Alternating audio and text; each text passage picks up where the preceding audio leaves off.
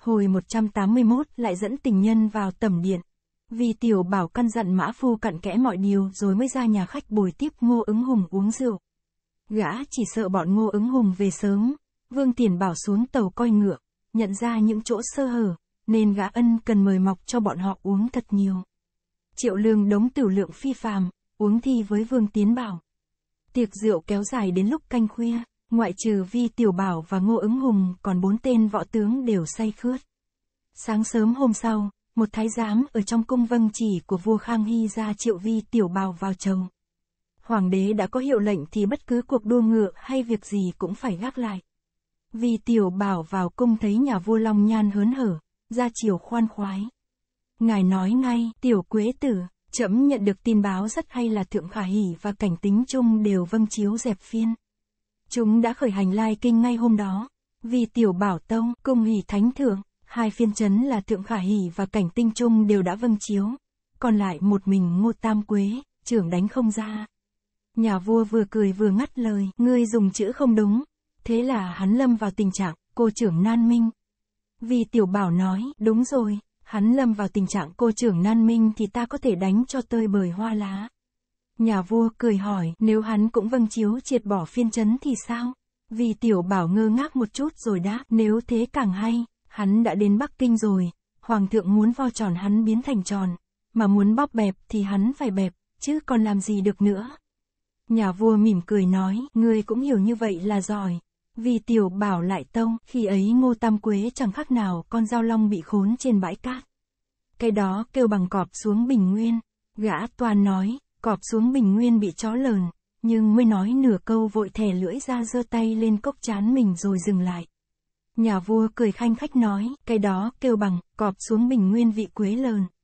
Vì tiểu bảo chẳng những hắn không dám đắc tội với ta mà còn sợ cả tiểu quế tử nữa.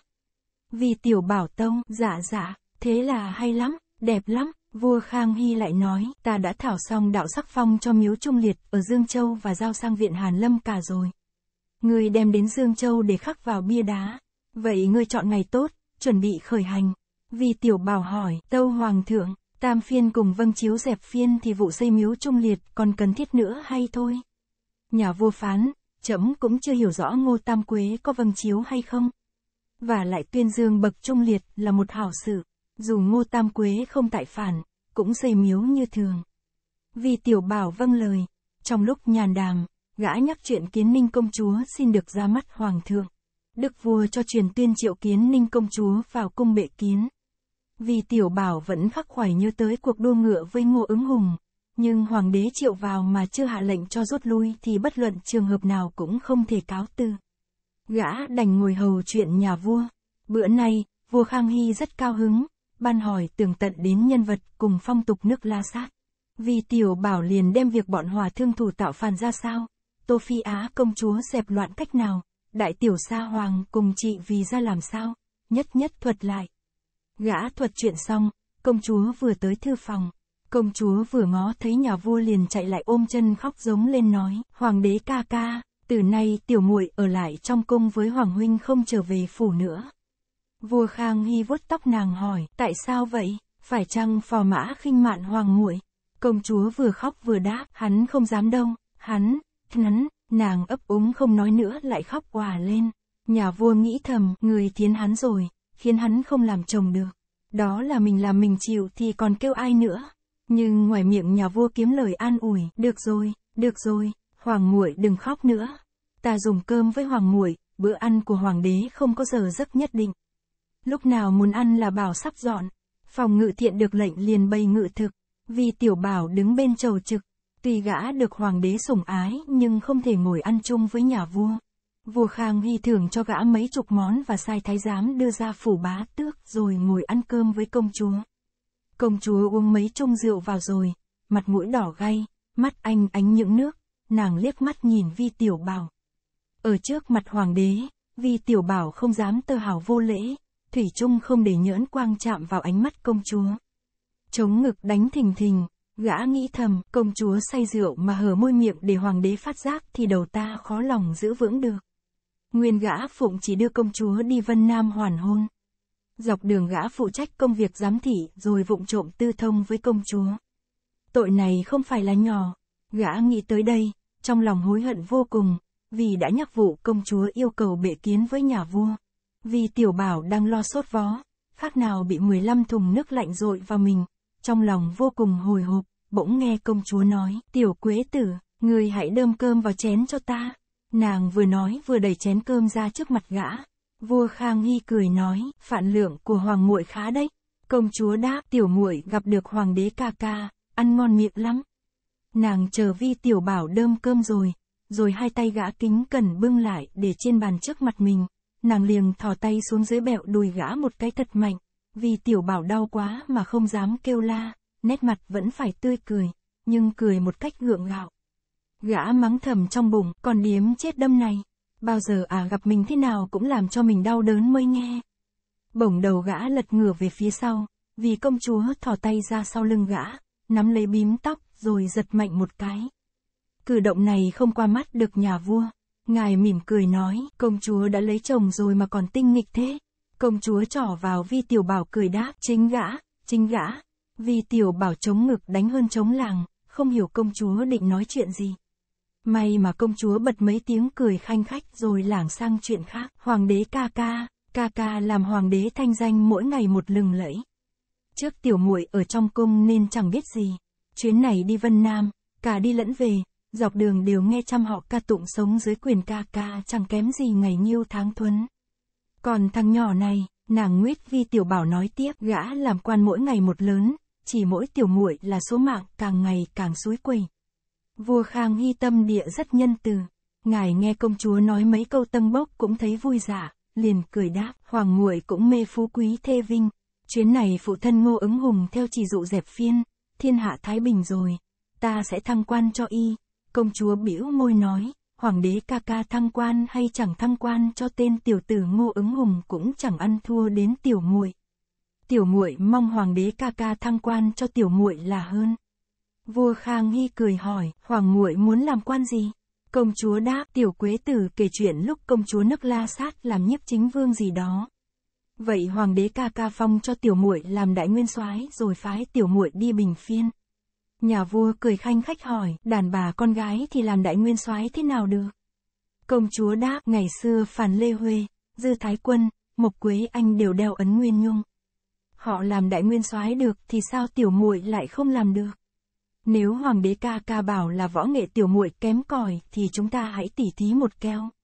Nàng nói rồi cười hì hì, đặt chén đũa xuống đứng dậy. Vua Khang Hy cười nói, hoàng muội không chịu đọc sách, kiến thức chẳng khác gì tiểu quế tử, chỉ coi những thiên cố sự trong tuồng hát. Sự thực lịch sử đã nói đến phụ nữ cũng làm nguyên soái được. Tỷ như em gái vua đường Thái Tôn Lý Thế Dân là công chúa Bình Dương đã làm nguyên soái thống lãnh nương tử quân, giúp nhà vua bình định thiên hạ, lập nên công trạng lớn lao. Công chúa vỗ tay reo lên, thế thì hay quá, hoàng đế ca ca, ca ca làm hoàng đế oai hơn Lý Thế Dân. Vậy tiểu muội theo đòi làm Bình Dương công chúa. Tiểu quế tử, người muốn noi gương ai? Theo gót cao lực sĩ hay ngụy Trung Hiền? Vua Khang Hy cười ha hà lắc đầu quẩy quậy đáp, hoàng muội lại nói nhăng nói càn rồi. Tiểu quế tử là tên thái giám giả hiệu, hơn nữa cao lực sĩ, ngụy Trung Hiền đều là thái giám thủ hạ của hôn quân. Hoàng muội nói thế là thoá mạ ta đó. Công chúa cười đáp, xin lỗi hoàng đế ca ca. Tiểu muội không hiểu mà nói như vậy, ca ca miễn thứ cho. Nàng nghĩ tới câu, tiểu quế tử là tên thái giám giả hiệu, không nhịn được. Bất giác liếc mắt nhìn vi tiểu bảo, trong lòng dạo rực xuân tình.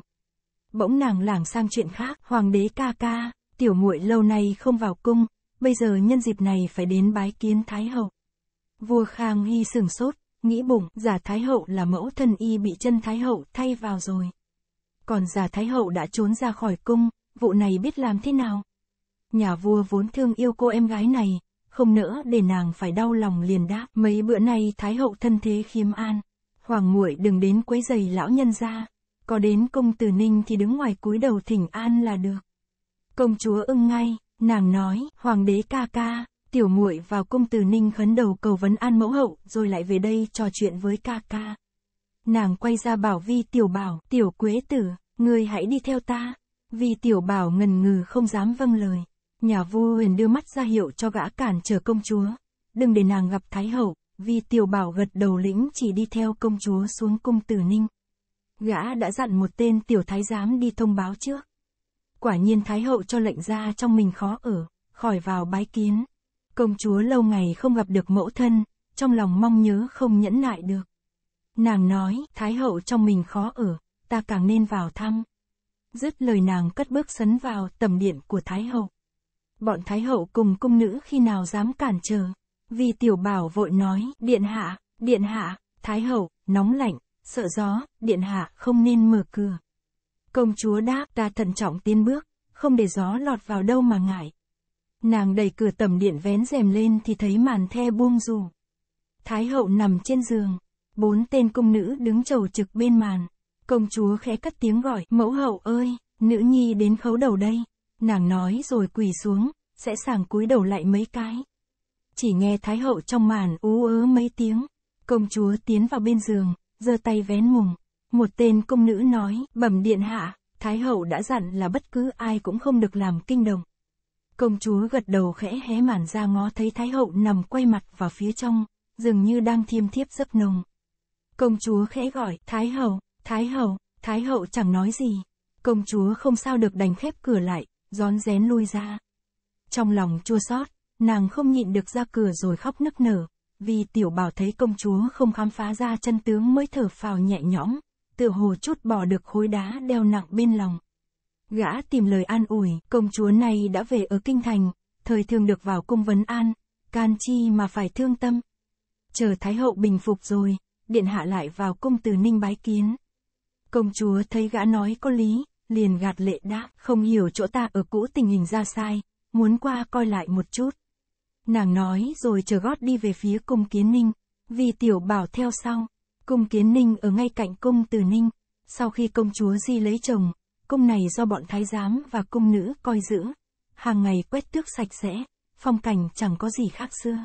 Công chúa vào đến cửa tầm điện thấy vi tiểu bảo cười hì hì đứng ở bên ngoài, không chịu theo mình. Nàng đỏ mặt lên hỏi, tên thái giám chết chém kia, sao ngươi không vào đây? vì tiểu bảo cười đáp, nô tài là thái giám giả hiệu, không thể vào tầm điện của công chúa được. Công chúa vươn tay ra nắm lấy tay gã nói, ngươi mà không vào thì ta vặn đứt tay ngươi ngay. Nàng vừa nói vừa kép thật mạnh, vì tiểu bảo đành phải theo vào. Công chúa xoay tay đóng cửa cài then lại, vì tiểu bảo sợ hết hồn, chống ngực hơn chống làng, khẽ nói, công chúa, ở trong cung đâu có thể hỗn loạn được. Nô tài, nô tài, phe này chắc phải mất đầu. Cặp mắt công chúa anh ánh những nước cơ hồ xa lệ. Nàng khẽ nói, vì bá tước, ta mới là nô tài của bá tước, bây giờ ta xin chầu hầu. Nàng giơ tay ra ôm chặt lấy gã, vì tiểu bảo cười đáp, không, không được đâu, công chúa nói, giỏi lắm, ta sẽ nói cho hoàng đế ca ca hay là ngươi xui ta thiến thằng lòi ngô ứng hùng rồi bây giờ không nhìn nhõi gì đến ta nữa. Nàng lại bẹo đùi gã một cái thật mạnh, hai người ở trong tầm cung đã lâu lắm mới trở ra. Công chúa mặt mày hớn hở, trong lòng phơi phới xuân tình lớn tiếng hỏi, Hoàng thượng bảo ngươi thuật chuyện nước la sát cho ta nghe. Sao ngươi chưa nói hết đã vội bỏ đi? Vì tiểu bảo đáp, nô tài gân cốt dã rời, không còn hơi sức để mà nói nữa. Công chúa cười nói, lần sau ngươi lại đến nói chuyện bắt hồ ly ở liêu đông cho ta nghe. Vì tiểu bảo nheo mắt nhìn nàng khẽ nói, phen này không chừng nô tài vĩnh viễn hết hơi rồi, khó nói nên lời nữa. Công chúa nổi lên chàng cười khanh khách, xoay tay tát, bốp, vào mặt gã một cái thật mạnh. Bọn thái giám và cung nữ trông coi cung kiến ninh đều là người cũ. Chúng đã biết công chúa song nhan xinh đẹp, nhưng tính tình man dợ ngang ngược. Chúng thấy công chúa ra tay đánh người không khỏi lẩm bẩm, công chúa điện hạ đã lấy chồng rồi mà tính nết chẳng khác gì trước. Vì bá tước là một bị đại thần được hoàng thượng rất sủng ái mà nàng cũng giơ tay đánh. Hai người trở về ngự thư phòng để cáo từ vua Khang Hy. Lúc này trời đã sắp tối, nhà vua đang cúi xuống nhìn tấm bản đồ lớn đặt trên án, mặt rồng ra chiều suy nghĩ. Công chúa nói, hoàng đế ca ca, bữa nay thái hậu trong mình khó ở, tiểu muội không được bái kiến. Mấy bữa nữa tiểu muội lại vào trong khấu đầu thỉnh an. Vua Khang Hy gật đầu đáp, thái hậu trong mình khó chịu, bất cứ là ai cũng không được bái kiến. Lần sau ngài có lệnh triệu hoàng muội hãy đến. Nhà vua trò vào bức địa đồ rồi hỏi vi tiểu bảo, các ngươi đi từ Quý Châu tiến đến Vân Nam, rồi do đường Quảng Tây trở về. Đường nào dễ đi hơn? Té ra nhà vua đã coi địa hình tỉnh Vân Nam, vi tiểu bảo tâu, khắp tỉnh Vân Nam núi cao chót vót. Bất luận đi đường Quý Châu hay đường Quảng Tây đều rất khó khăn. Phần nhiều đường núi không đi xe được. Công chúa ngồi kiệu còn nô tài cưỡi ngựa. Vua Khang Hy gật đầu, ngài chợt nhớ ra điều gì, truyền bảo thái giám, đi kêu lang trung ở ti xa giá bộ binh vào đây. Ngài quay lại bảo công chúa, hoàng muội hãy về phủ. Bữa nay đi suốt ngày, chắc phò mã đang trông đợi hoàng muội đó. Công chúa bĩu môi đáp, hắn chẳng trông đợi tiểu muội làm gì đâu. Nàng có ý muốn chờ vi tiểu bảo cùng ra khỏi cung để đi đường nói thêm mấy câu chuyện cho vui. Nhưng nghe hoàng đế bảo vậy biết là ngài đang bận việc nước mới cho đòi bọn lang trung. Nàng liền nói, hoàng đế ca ca, trời sắp tối rồi mà hoàng đế ca ca còn lo liệu việc nước. Trước kia phụ hoàng chẳng bao giờ cần lao chính bị quá độ như ca ca. Nhà vua đau nhói trong lòng, nhớ tới phụ hoàng trơ trọi một mình xuất ra nơi ngũ đài sơn. Ngài thở dài đáp, phụ hoàng thông minh tài trí, công việc ngài làm một giờ thì ta phải lo ba giờ cũng chưa xong.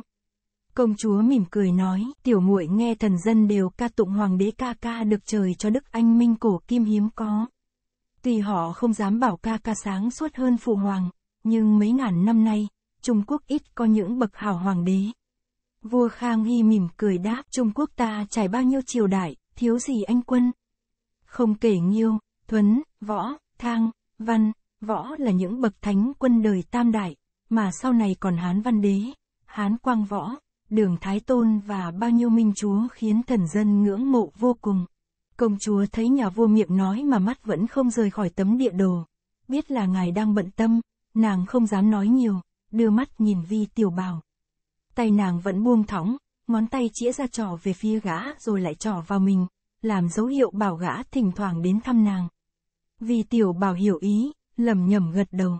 Công chúa nhìn vua Khang Hy hành lễ, cáo từ ra về. Công chúa rời khỏi ngự thư phòng, tiếng bước chân mỗi lúc một xa. Nhà vua ngừng đầu lên nhìn Vi Tiểu Bảo nói, nếu vậy thì chúng ta chế tạo súng lớn e rằng quá nặng nề, chuyển vận trên đường núi không phải dễ dàng. Vi Tiểu Bảo ngơ ngác một chút rồi hiểu ý nhà vua muốn vận súng lớn đi đánh ngô tam quế. Gã liền tông, dạ dạ, nô tài quả thật hồ đồ, chưa kịp nghĩ tới điểm này. Tưởng nên chế tạo nhiều súng nhỏ để sức hai con ngựa có thể vận chuyển đưa tới Vân Nam thì dễ dàng hơn nhiều. Vua Khang Hy nói, đánh trận ở vùng núi non chẳng thể xua quân hàng ngàn hàng vạn nhân mã đồng thời tấn công ồ ạt. Như vậy bộ binh cần hơn kỵ mã, chẳng mấy chốc ba tên lang trung người mãn và một tên người Hán của ti xa giá bộ binh đã tới nơi. Nhà vua đợi chúng khấu đầu xong liền hỏi, công việc chuẩn bị lừa ngựa của các ngươi đi đến đâu rồi? Ti xa giá ở bộ binh chuyên trông coi về lừa ngựa. Bọn lang trung liền đem việc mua ngựa ở các xứ Tây Vực, Mông Cổ, quan ngoại mỗi nơi bao nhiêu con tâu trình cho Hoàng thượng. Hiện thời đã có sẵn hơn 8 vạn 5 ngàn ngựa tốt được nuôi dưỡng cẩn thận và tiếp tục mua thêm nữa.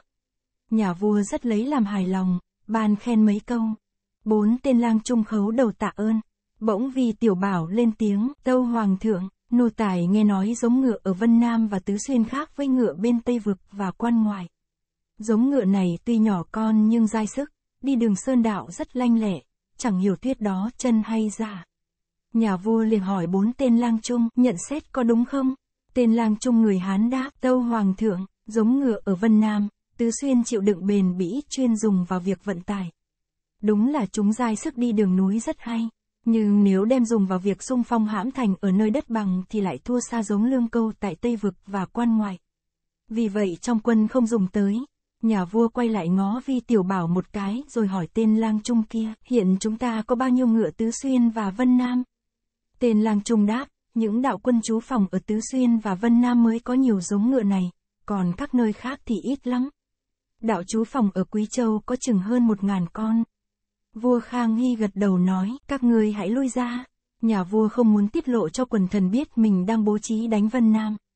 Ngài chờ bốn tên lang trung rút lui rồi mới nhìn Vi Tiểu Bảo nói, mày người nhắc chấm câu này. Sáng mai chấm sẽ hạ chỉ cho Tổng đốc sứ Tứ Xuyên phải cấp tốc chuẩn bị thứ ngựa đó. Có điều chúng ta phải giữ công việc thần bí càng hay. Vi Tiểu Bảo đột nhiên cười hì hì ra chiều rất đắc ý. Nhà vua hỏi, người cười gì vậy? Vì tiểu bảo tông, ngô phò mã có một toán ngựa mới chuyển vận từ Vân Nam tới đây. Y khoe ngày đó rất dai sức, nhưng nô tài không tin, nên đã ước hẹn cùng y mở cuộc đua ngựa. Ngựa Vân Nam có dai sức hay không chỉ ngày mai là biết. Hồi 182 thấy ngựa chết kẻ mừng người tuổi, vua Khang Hy mỉm cười hỏi, vậy ngươi chuẩn bị dự cuộc đua với hắn đi. Tổ chức cuộc đua thế nào? Vì tiểu bảo tông, bọn nô tài mỗi bên lựa 10 con ngựa để đua 10 kép. Số tiền đặt cuộc là một vạn lạng bạc, bên nào được thì bên đó lấy. Nhà vua là hỏi, chỉ đua 10 keo thôi thì chưa chắc đã biết được những cái hay của giống ngựa Vân Nam. Người có hiểu chúng đưa đến bao nhiêu ngựa không? Vì tiểu bảo đáp, nô tài trong tàu ngựa có ước chừng năm, sáu chục con. Nhà vua phán, vậy người đấu với hắn năm, sáu chục keo và cho chạy đường dài. Hay hơn hết là đi về ngả Tây Sơn để ngựa chạy đường núi. Nhà vua ngó sắc mặt vi tiểu bảo có điều quái dị liền nói tiếp, còn mẹ nó, làm gì mà phải lo lắng, người có thua chấm cũng cho tiền chứ sao. Vì tiểu bảo không dám nói đến tay vua vụ cho ngựa của ngô ứng hùng ăn chất độc. Mười phần gã ăn chắc đến chín. Những cuộc đua này gã thắng thì hoàng đế lại tưởng là giống ngựa Vân Nam chẳng ra gì rồi đưa đến kết quả làm hư việc lớn khi hành quân giáp trận. Gã nghĩ vậy nên mỉm cười, ngập ngừng tâu, nô tài băn khoăn không phải vì vấn đề tiền bạc. Bỗng vua Khang Hy ồ lên một tiếng rồi hỏi, giống ngựa Vân Nam dai sức mà lại giỏi chịu đựng chay được đường dài thì gã tiểu tử ngô ứng hùng cho vận từ Vân Nam tới đây một bầy để làm gì? Vì tiểu bảo cười đáp, nô tài chắc hắn muốn khoe ngựa ở Vân Nam nhà hắn là giống ngựa tuyệt hảo để hãnh diện với mọi người.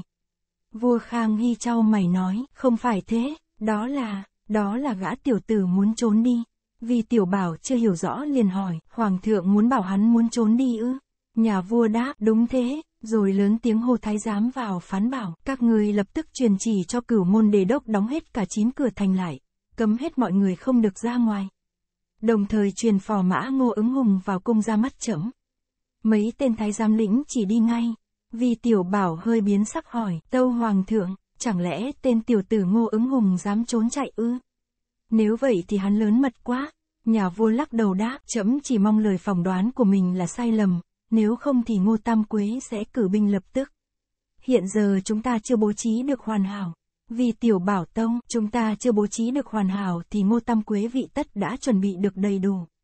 Mặt rồng lộ vẻ lo âu, nhà vua nói, không phải đâu, Ngô Tam Quế từ ngày mới đến Vân Nam đã chiêu binh mãi mã, nảy lòng tạo phản.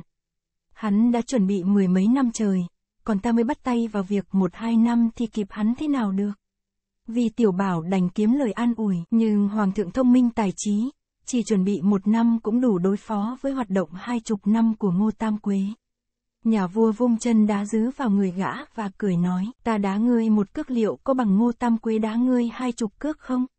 Còn mẹ nó, ngươi đừng có khinh thường ngô tam quế. Thằng cha đó rất giỏi nghề dụng binh xuất trận, Lý tự thành lợi hại là thế mà còn bị hắn đả bại. Hiện nay trong triều không có tướng nào đối thủ với hắn được. Vì tiểu bảo nói, chúng ta ỉ vào số đông để thủ thắng.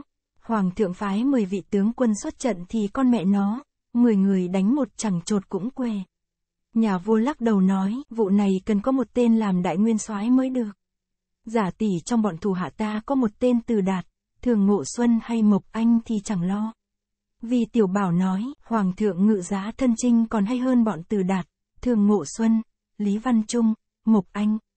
Ngày trước Minh Thái Tổ cũng đã ngự giá thân trinh đánh Trần Hữu Lượng. Vua Khang Hy nói, người chỉ biết nịnh bợ, nói những điều gì điều, sâm, duy, thang thông minh tài trí. Nếu thật là người thông minh thì trước hết phải tự biết mình. Hành quân lâm trận há phải việc tầm thường. Ta chưa từng chiến đấu bao giờ thì đối phó với Ngô Tam Quế làm sao nổi. Mấy chục vạn binh mã mà không có người chỉ huy khôn ngoan tất chẳng tránh khỏi thất bại tan tành. Nhà vua ngừng lại một chút rồi tiếp, ngày trước nhà Minh đã gặp cuộc biến ở Tổ Mộc Bảo, hoàng đế tin lời của tên thái giám vương chấn ngự giá thân trinh khiến cho mấy chục vạn đại quân hoàn toàn tan vỡ bởi tên thái giám ngu xuẩn hồ đồ. Cả hoàng đế cũng bị địch quân bắt sống, vì tiểu bảo giật bắn người lên vội nói, tâu hoàng thượng, nô tài chỉ là một tên thái giám giả hiệu mà thôi. Vua Khang Hy cười khanh khách đáp, người bất tất phải sợ hãi. Dù ngươi có là thái giám thật hiệu thì ta cũng chẳng phải là hôn quân như Minh Anh Tôn, nghe ngươi một cách hồ đồ. Lát sau thái giám vào báo, quan cửu môn đề đốc đã phụng chỉ đóng cửa thành. Nhà vua yên tâm được một phần thì tên thái giám khác vào tông, phò mã đi săn chưa về mà các cửa thành đều đóng chặt, không thể ra ngoài tuyên triệu được. Vua Khang Hy nghe báo, đẩy bàn ra, đứng phát dậy la lên, quả nhiên hắn chạy trốn rồi. Ngài lại hỏi thái giám, công chúa Kiến Ninh đâu? Thái giám đáp, tâu hoàng thượng, công chúa hiện còn ở trong cung. Nhà vua hàn học nói, tên tiểu tử đó tuyệt không còn chút tình nghĩa phu thê nào hết. Vì tiểu bảo tông, nô tài xin rượt theo tiểu tử kia. Nhà vua hỏi thái giám, phò mã ra khỏi cửa thành vào hồi nào? Thái giám đáp, tâu hoàng thượng, nô tài đến phủ phò mã tuyên chỉ thì viên tổng quản nói là phò mã đi săn, ra khỏi cửa thành vào lúc sáng sớm. Vua Khang Hy hắng giọng một tiếng rồi nói, thằng lòi này đáo để thiệt. Hắn nhân bữa nay chấm triệu công chúa vào cung liền thừa cơ tẩu thoát. Ngài nhìn vi tiểu bảo nói tiếp, hắn đã đi 6-7 giờ rồi, có rượt theo cũng không kịp. Hắn cho đưa mấy chục ngựa từ Vân Nam tới là để thay đổi ở dọc đường đặng trốn về Côn Minh.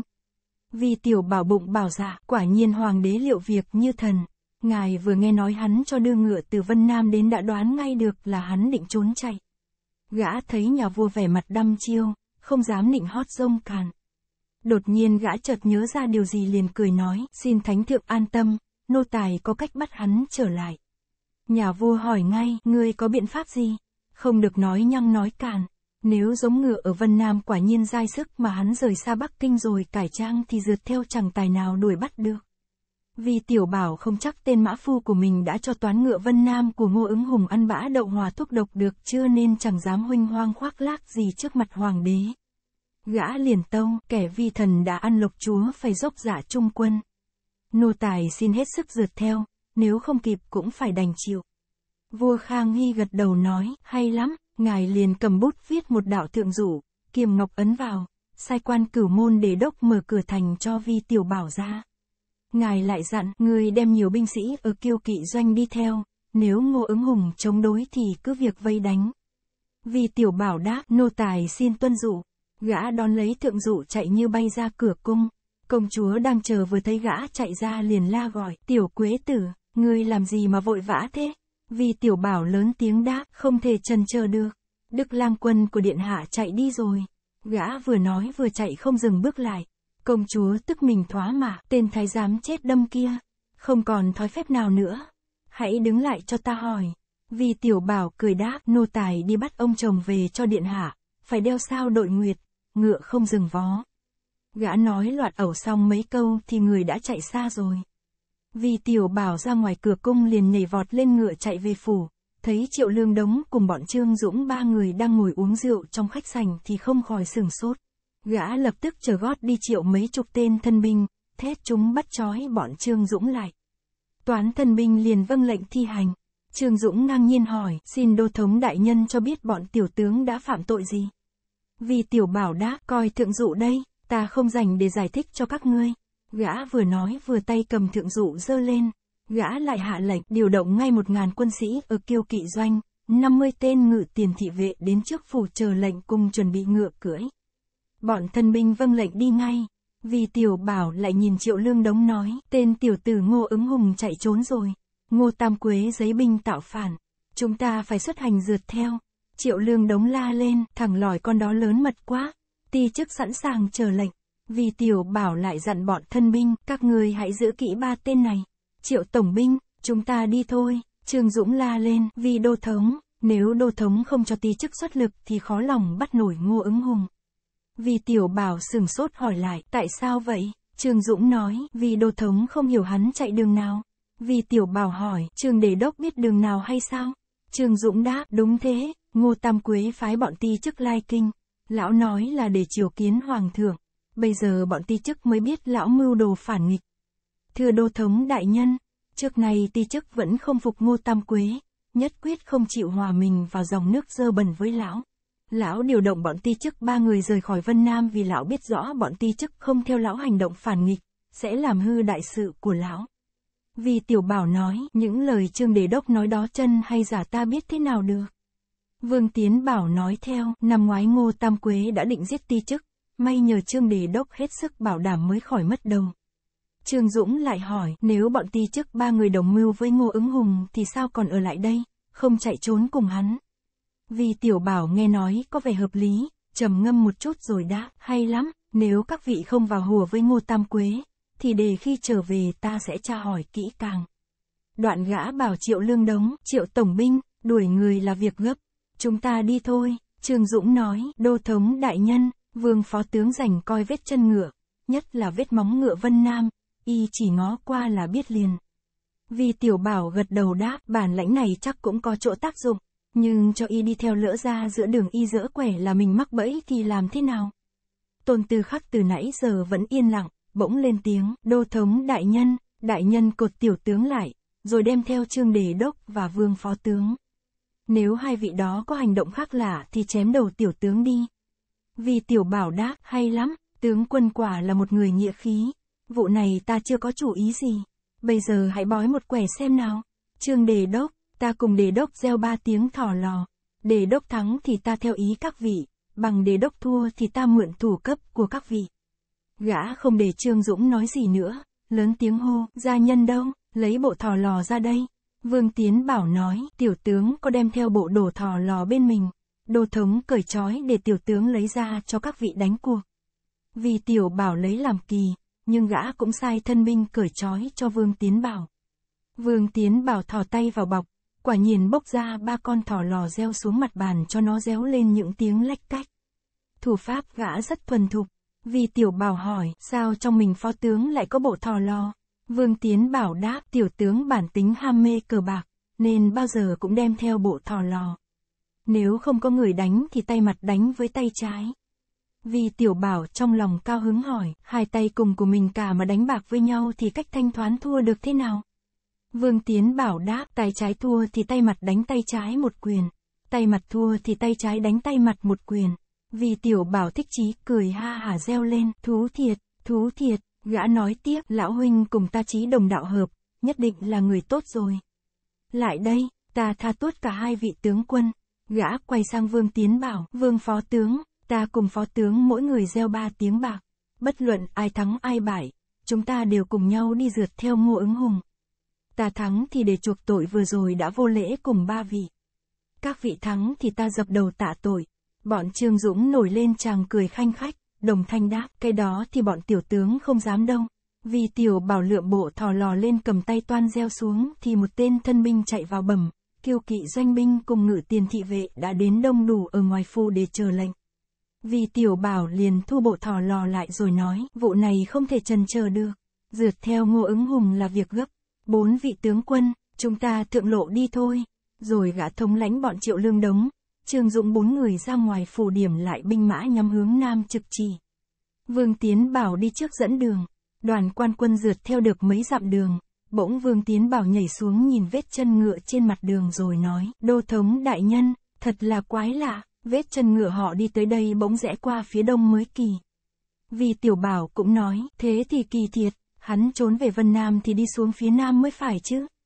Được rồi, chúng ta cũng rẽ qua mé đông mà rượt. Triệu lương đống sinh lòng ngờ vực bụng bảo giả hắn chạy qua phía đông thì thật là phi lý. Hay là tên tiểu tử vương tiến bảo cố ý dẫn chúng ta lạc nẻo để ngô ứng hùng tẩu thoát. Gã liền cất tiếng nói, đô thống đại nhân, để tiểu tướng lãnh một cánh quân tiếp tục rượt theo về phía nam, nên chăng? Vì tiểu bảo liếc mắt nhìn vương tiến bảo thấy hắn lộ vẻ tức giận liền đáp, bất tất phải thế, chúng ta cứ đi theo vương phó tướng là phải. Vì y đã nuôi giống ngựa ở Vân Nam thì còn nhận lầm thế nào được. Gã còn sai thân binh lấy khí giới để cho bọn Trương Dũng ba người lựa chọn. Trương Dũng cầm lấy thanh đại đao nói, đô thống đại nhân tuy nhỏ tuổi nhưng bụng dạ quảng bác. Bọn tiểu tướng là quan quân ở Vân Nam đến đây, nay ngô tam quế tạo phản mà đô thống đại nhân cũng đối đãi như người tâm phúc, tuyệt không mảy may ngờ vực, thiệt là người hiếm có. Vì tiểu bảo cười đáp, trương đề đốc bất tất phải tán dương ta, ta chẳng khác chi nhà cái trên bàn thò lò. Bao nhiêu tiền bạc bỏ hết ra chơi một canh. Hễ thắng là lớn, chẳng những bắt được bao ngô ứng hùng mà còn giao kết thêm được ba vị hảo bằng hữu, Còn thua cũng thua lụn bại. Việc không thành thì cái thủ cấp này cũng bị hớt đi luôn. Trương Dũng cả mừng nói, bọn tiểu tướng người ở Tây Lương đều là những hảo nam nhi, rất thích giao kết cũng những bậc anh hùng hảo hán. Nay được đô thống có lòng hạ cố, bọn trương mỗ xin cố gắng hết sức dù có vì đô thống mà hy sinh tính mạng cũng vui lòng. Dứt lời, hắn chém lưỡi đao xuống đất rồi sụp lại vi tiểu bảo. Vương Tiến Bảo và Tôn Tự Khắc cũng sụp lại theo, vì tiểu bảo vội nhảy xuống ngựa quỳ ở bên đường đáp lễ. Bốn người quỳ lại làm lễ kết giao xong đứng dậy nhìn nhau nổi lên chàng cười ha hà ra chiều khoan khoái. Vì tiểu bảo ngó triệu lương đống nói, triệu tổng binh, tổng binh cũng lại đây cùng nhau kết bạn. Từ nay chúng ta nên nghĩa chi lan cùng hưởng hạnh phúc, chia sẻ hoạn nạn. Triệu lương đống đáp, tiểu tướng chưa thể tin vương phó tướng được. Chờ khi bắt được ngô ứng hùng tiểu tướng sẽ cùng y giao kết. Vương Tiến Bảo tức giận quắc mắt hỏi, tùy ta cấp bậc kém tổng binh, nhưng cũng đường đường là một trang hán tử, tổng binh tưởng ta thèm kết nghĩa với lão lắm sao? Dứt lời, hắn nhảy lên ngựa lao về phía trước, tiếp tục rượt theo. Vương Tiến Bảo chạy về phía đông chừng hơn 10 dặm, hắn lại xuống ngựa quan sát vết chân, và phân ngựa. Bỗng hắn cau mày la lên, lạ quá, lạ quá, Trương Dũng hất hàm hỏi, chuyện gì vậy? Vương Tiến bảo đáp, không hiểu vì duyên cớ gì phân ngựa nát quá, chẳng giống phân ngựa của chúng ta chút nào. Vì tiểu bảo sung sướng nổi lên chàng cười ha hà nói, thế thì đúng rồi, đúng là hàng thật, chứ không lừa giả dối trẻ. Đích thực là toán ngựa của ngô ứng hùng đó. Vương Tiến bảo lại nói, vết chân thì đúng nhưng phân ngựa lại không phải mới kỳ. Vì tiểu bảo đáp chẳng có chi kỳ lạ hết. Ngựa ở Vân Nam đưa lên Bắc Kinh không phục thủy thổ, chẳng phân bón cũng phân tháo dạ dày, phải 7-8 ngày mới hết. Có phân nát mới đúng là ngựa ở Vân Nam.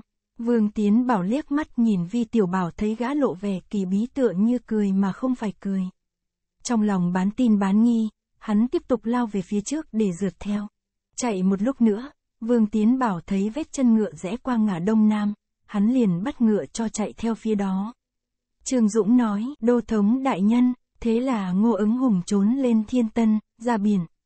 Nhất định hắn đã chuẩn bị thuyền bè theo đường hải đảo xuống Quảng Tây rồi quay về Vân Nam, để dọc đường không bị quan binh ngăn chặn. Vì tiểu bảo gật đầu đáp, đúng thế, từ Bắc Kinh đến Côn Minh đường xa muôn dặm, bất cứ lúc nào cũng có thể bị quan binh ngăn chặn, hắn đi đường biển yên ổn hơn nhiều. Trương Dũng lại nói, chúng ta cần rượt theo cho lẻ. Vì tiểu bảo hỏi, tại sao vậy? Trương Dũng đáp, từ kinh thành đến bờ biển chỉ có mấy trăm dặm đường đất. Ngô ứng hùng chẳng cần dè dặt sức ngựa cứ việc liều mạng phóng một mạch tới nơi. Vì tiểu bảo khen, phải lắm, phải lắm, Trương đại ca liệu việc như thần, quả đáng tài làm tướng. Trương Dũng thấy gã đổi giọng kêu mình bằng đại ca lại nức nở khen tài thì trong lòng khoan khoái vô cùng. Vì tiểu bảo quay lại hạ lệnh, phái ngay một đội kiêu kỵ doanh ra lệnh cho thủy sư ở đường cô phải lập tức phong tỏa cửa biển, bất luận thuyền bè nào cũng không được ra khơi. Một viên tham lãnh vâng tướng lệnh lãnh binh đi ngay. Đoàn quan quân đi chưa được bao lâu lại thấy xác hai con ngựa chính là ngựa Vân Nam. Trương Dũng cả mừng nói, đô thống đại nhân, vương phó tướng quả nhiên đã rượt trúng đường. Vương Tiến bảo mặt mày cao có, ra chiều rất buồn bã. Vì tiểu bảo hỏi, vương Tam Ca, tại sai Tam Ca có vẻ không vui? Vương Tiến bảo tự hỏi, ta có đứng ở hàng thứ ba đâu mà y gọi ta bằng Tam Ca? Ngoài miệng hắn đáp, những ngựa ở Vân Nam do tiểu tướng nuôi dưỡng đều được lựa chọn rất kỹ. Hàng ngàn con mới, có một con trúng cách, khi nào lại ỉa phân nát và chết lăn dọc đường. Dù cho ngô ứng hùng có bắt chúng chạy hết sức cũng chẳng thể vô dụng đến thế được.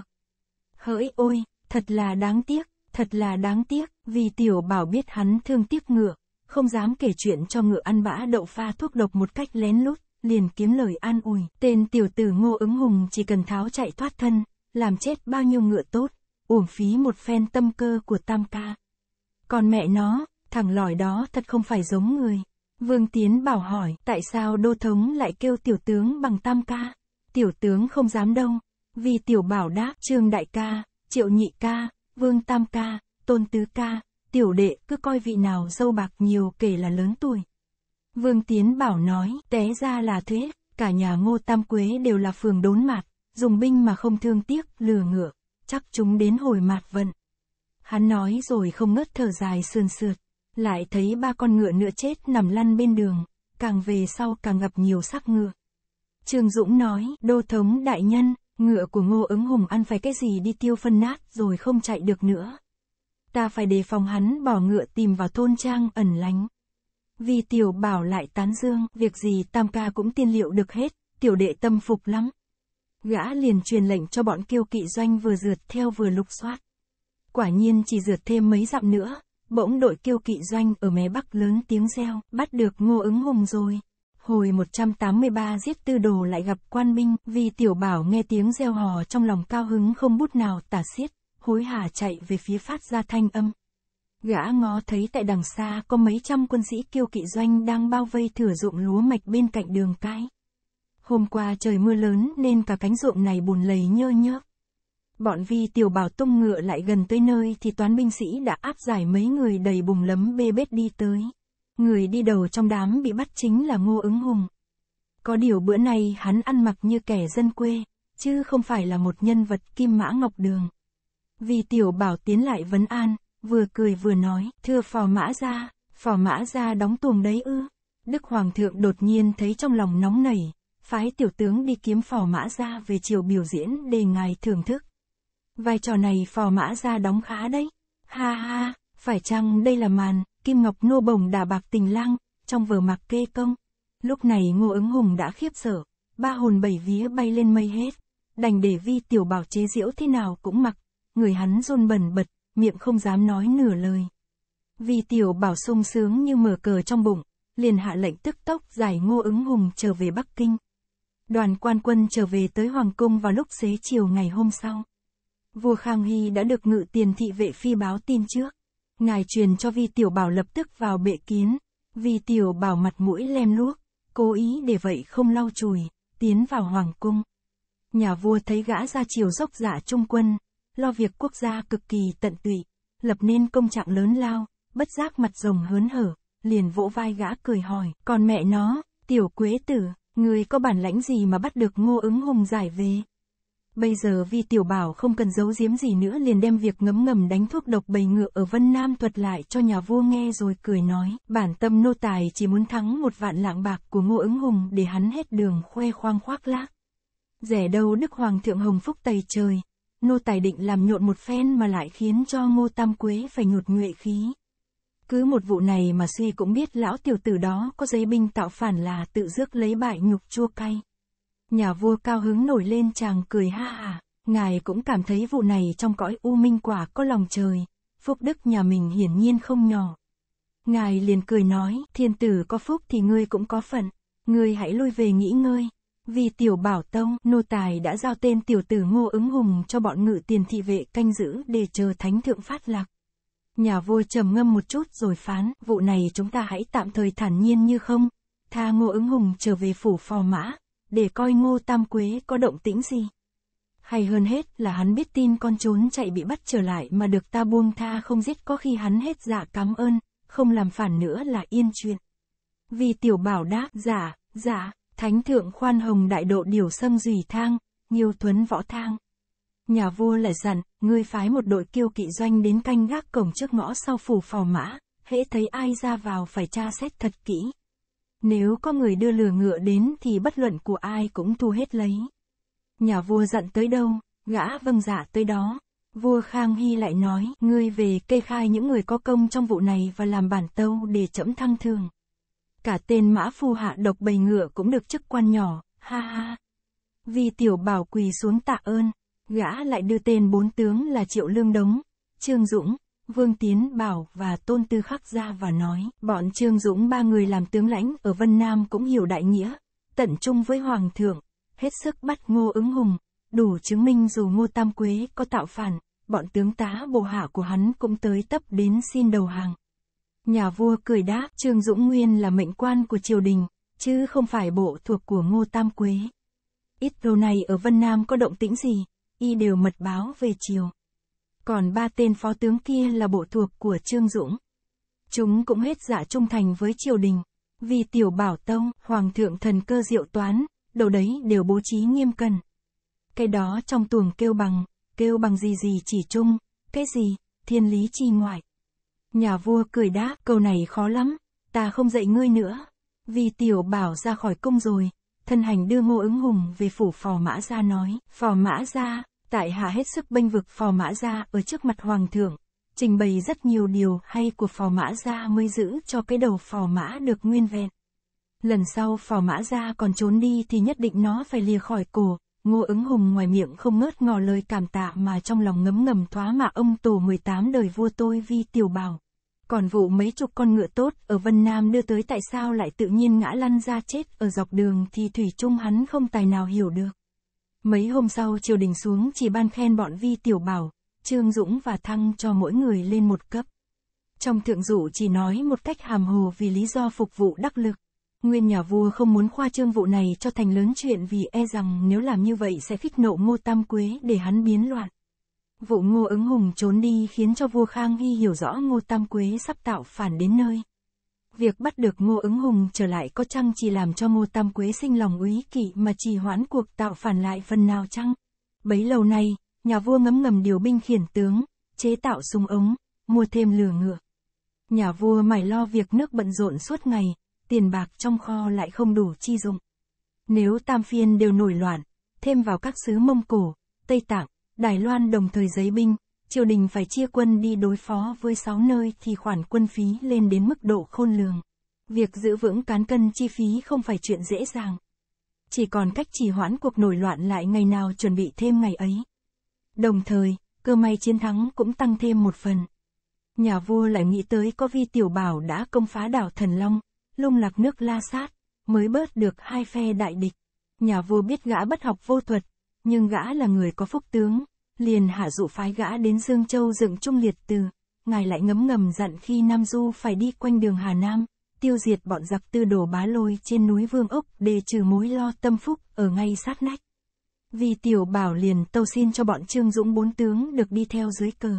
Vua Khang Hy chuẩn tấu, hôm ấy, vì tiểu bảo thống lãnh bọn Trương Dũng sắp sửa lên đường thì đột nhiên Thi Lang, Hoàng Phủ, cùng bọn từ Thiên Xuyên, phong tế chung ở thiên địa hội về tới nơi xin vào ra mắt. Quần hùng trùng hội kể sao xiết nổi vui mừng, nguyên sau khi vi tiểu bảo chúng phải, mỹ nhân kế, của hồng giáo chủ bị bắt. Chẳng phải bọn thi lang không dám trở về, hàng ngày họ ngồi trên chiến thuyền đi dò la tông tích gã trên các hải đảo. Còn bọn từ Thiên Xuyên chia nhau đi tìm kiếm vùng Duyên Hải cũng như trên lục địa ba tỉnh Liêu Đông, Trực Lệ, Sơn Đông. Sau chúng tiếp được tin của Vi Tiểu Bảo từ trong chiều đưa ra mới trở về kinh tương hội. Dĩ nhiên vì Tiểu Bảo giấu nhẹm vụ mình bị bắt một cách xấu xa gã bịa chuyện nói quanh để che lấp sự mất tích của gã. Bọn thi lang trong lòng không tin nhưng cũng chẳng dám hỏi vặn. vì Tiểu Bảo lại tâu lên hoàng đế bọn thi lang có công trong cuộc đánh phá đảo Thần Long, mọi người đều được thăng thường. Bọn từ Thiên Xuyên ở thiên địa hội dĩ nhiên không nhận tước lộc của Thanh Triều, nên gã không nhắc tới. Quần hào ở lại Bắc Kinh yến tiệc một ngày, hôm sau mới thượng lộ. Một hôm đoàn người đi tới chân núi Vương Ốc, vì tiểu bảo liền nói lén cho anh em thiên địa hội biết việc chuẩn bị tiểu trừ bọn tư đồ bá lôi ở trên núi này. Từ thiên xuyên giật mình kinh hãi nói, vì hương chủ, việc này không thể làm được. Tư đồ bá lôi quyết chí khôi phục nhà đại minh lại là một bậc đại anh hùng, đại hào hán. Nếu chúng ta quét sách núi Vương Ốc tức là giúp sức cho bọn thát đát. Vì tiểu bảo đáp té ra là thế, tiểu đệ cũng nhận thấy từ đồ lão nhi quả nhiên có khí phách anh hùng. Nhưng tiểu đệ lại phụng chỉ phải tiễu trừ núi Vương Ốc. Vụ này thật khó quá biết làm thế nào, huyền trinh đạo nhân nói, vì hương chủ còn ở triều đình thì mỗi ngày một lên quan to, có điều không ổn. Theo ý bẩn đạo thì chi bằng chúng ta hiệp lực với từ đổ bá lôi tạo phản quách đi là hơn. Từ Thiên Xuyên lắc đầu đáp, bước đường đầu tiên của chúng ta là mượn tay bọn thát đát để đối phó với tên đại hán gian ngô tam quế. Nếu bây giờ vi hương chủ tạo phản ngay, không khéo hoàng đế thát đát lại liên thủ với ngô tam quế là mối nguy cho mình. Vì tiểu bảo bản tâm không muốn phản nghịch vua Khang Hy, liền nói theo, phải lắm, phải lắm, chúng ta cần diệt trừ ngô tam quế đã rồi sẽ tính. Đâu là một việc lớn và bậc nhất. Còn tư đồ bá lôi và mấy trăm người tụ tập trên núi Vương Ốc chẳng qua là một chuyện nhỏ. Ta không nên vì chuyện nhỏ mà làm hư việc lớn. Từ Thiên Xuyên lại nói, điều cần nhất hiện thời là cần phải trả lời Hoàng đế Thát Đát cách nào cho ổn. Hơn nữa, Hoàng đế Thát Đát có ý dựng đền trung liệt tại Dương Châu. Chúng ta không thể phế bỏ việc này. Sự khả pháp một lòng son sắt, vì nước bỏ mình. Những bậc anh hùng trong thiên hạ đều kính phục vô cùng. Quần hào trong thiên địa hội nghe từ thiên xuyên nói vậy đều gật đầu khen phải. Còn việc phúc trình hoàng đế để lấp liếm vụ này thì ai nấy đều chịu thua bản lãnh của vi tiểu bảo, nên chỉ dương mắt lên nhìn gã để nghe theo. vì tiểu bảo cười nói, đã không nên dẹp núi vương ốc thì chúng ta báo tin trước cho tư đồ lão huynh để y lánh đi là xong. Quần hào trầm ngâm một lúc đều nhận thấy kế này dùng được, vì tiểu bảo nhớ tới cuộc gieo thỏ lò đánh bạc bằng mạng người ngày trước, có một vị tiểu cô nương ở phái vương ốc, gương mặt trái xoan, cặp mắt đen và lớn, dáng điệu rất khả ái. Gã liền tự nhủ, ta chẳng có giao kết gì với tư đồ bá lôi, vậy mối ân tình này để tặng cho cô kia hay hơn. Gã còn đang ngẫm nghĩ thì Trương Dũng và Triệu Lương Đống đều phái người đến báo cáo là đã chia quân bao vây bốn mặt núi Vương Ốc. Bao nhiêu nẻo đường thông lộ đều bít kín hết rồi. Nguyên khi Vi Tiểu Bảo vào đến địa giới tỉnh Hồ Nam đã ngấm ngầm cho bọn Trương Dũng, Triệu Lương Đống hay có thượng dụ trừ diệt bọn phỉ đồ trên núi Vương Ốc. Bốn tướng lẳng lặng chia binh mã đi vòng quanh bốn mặt đông, tây, nam, bắc chân núi.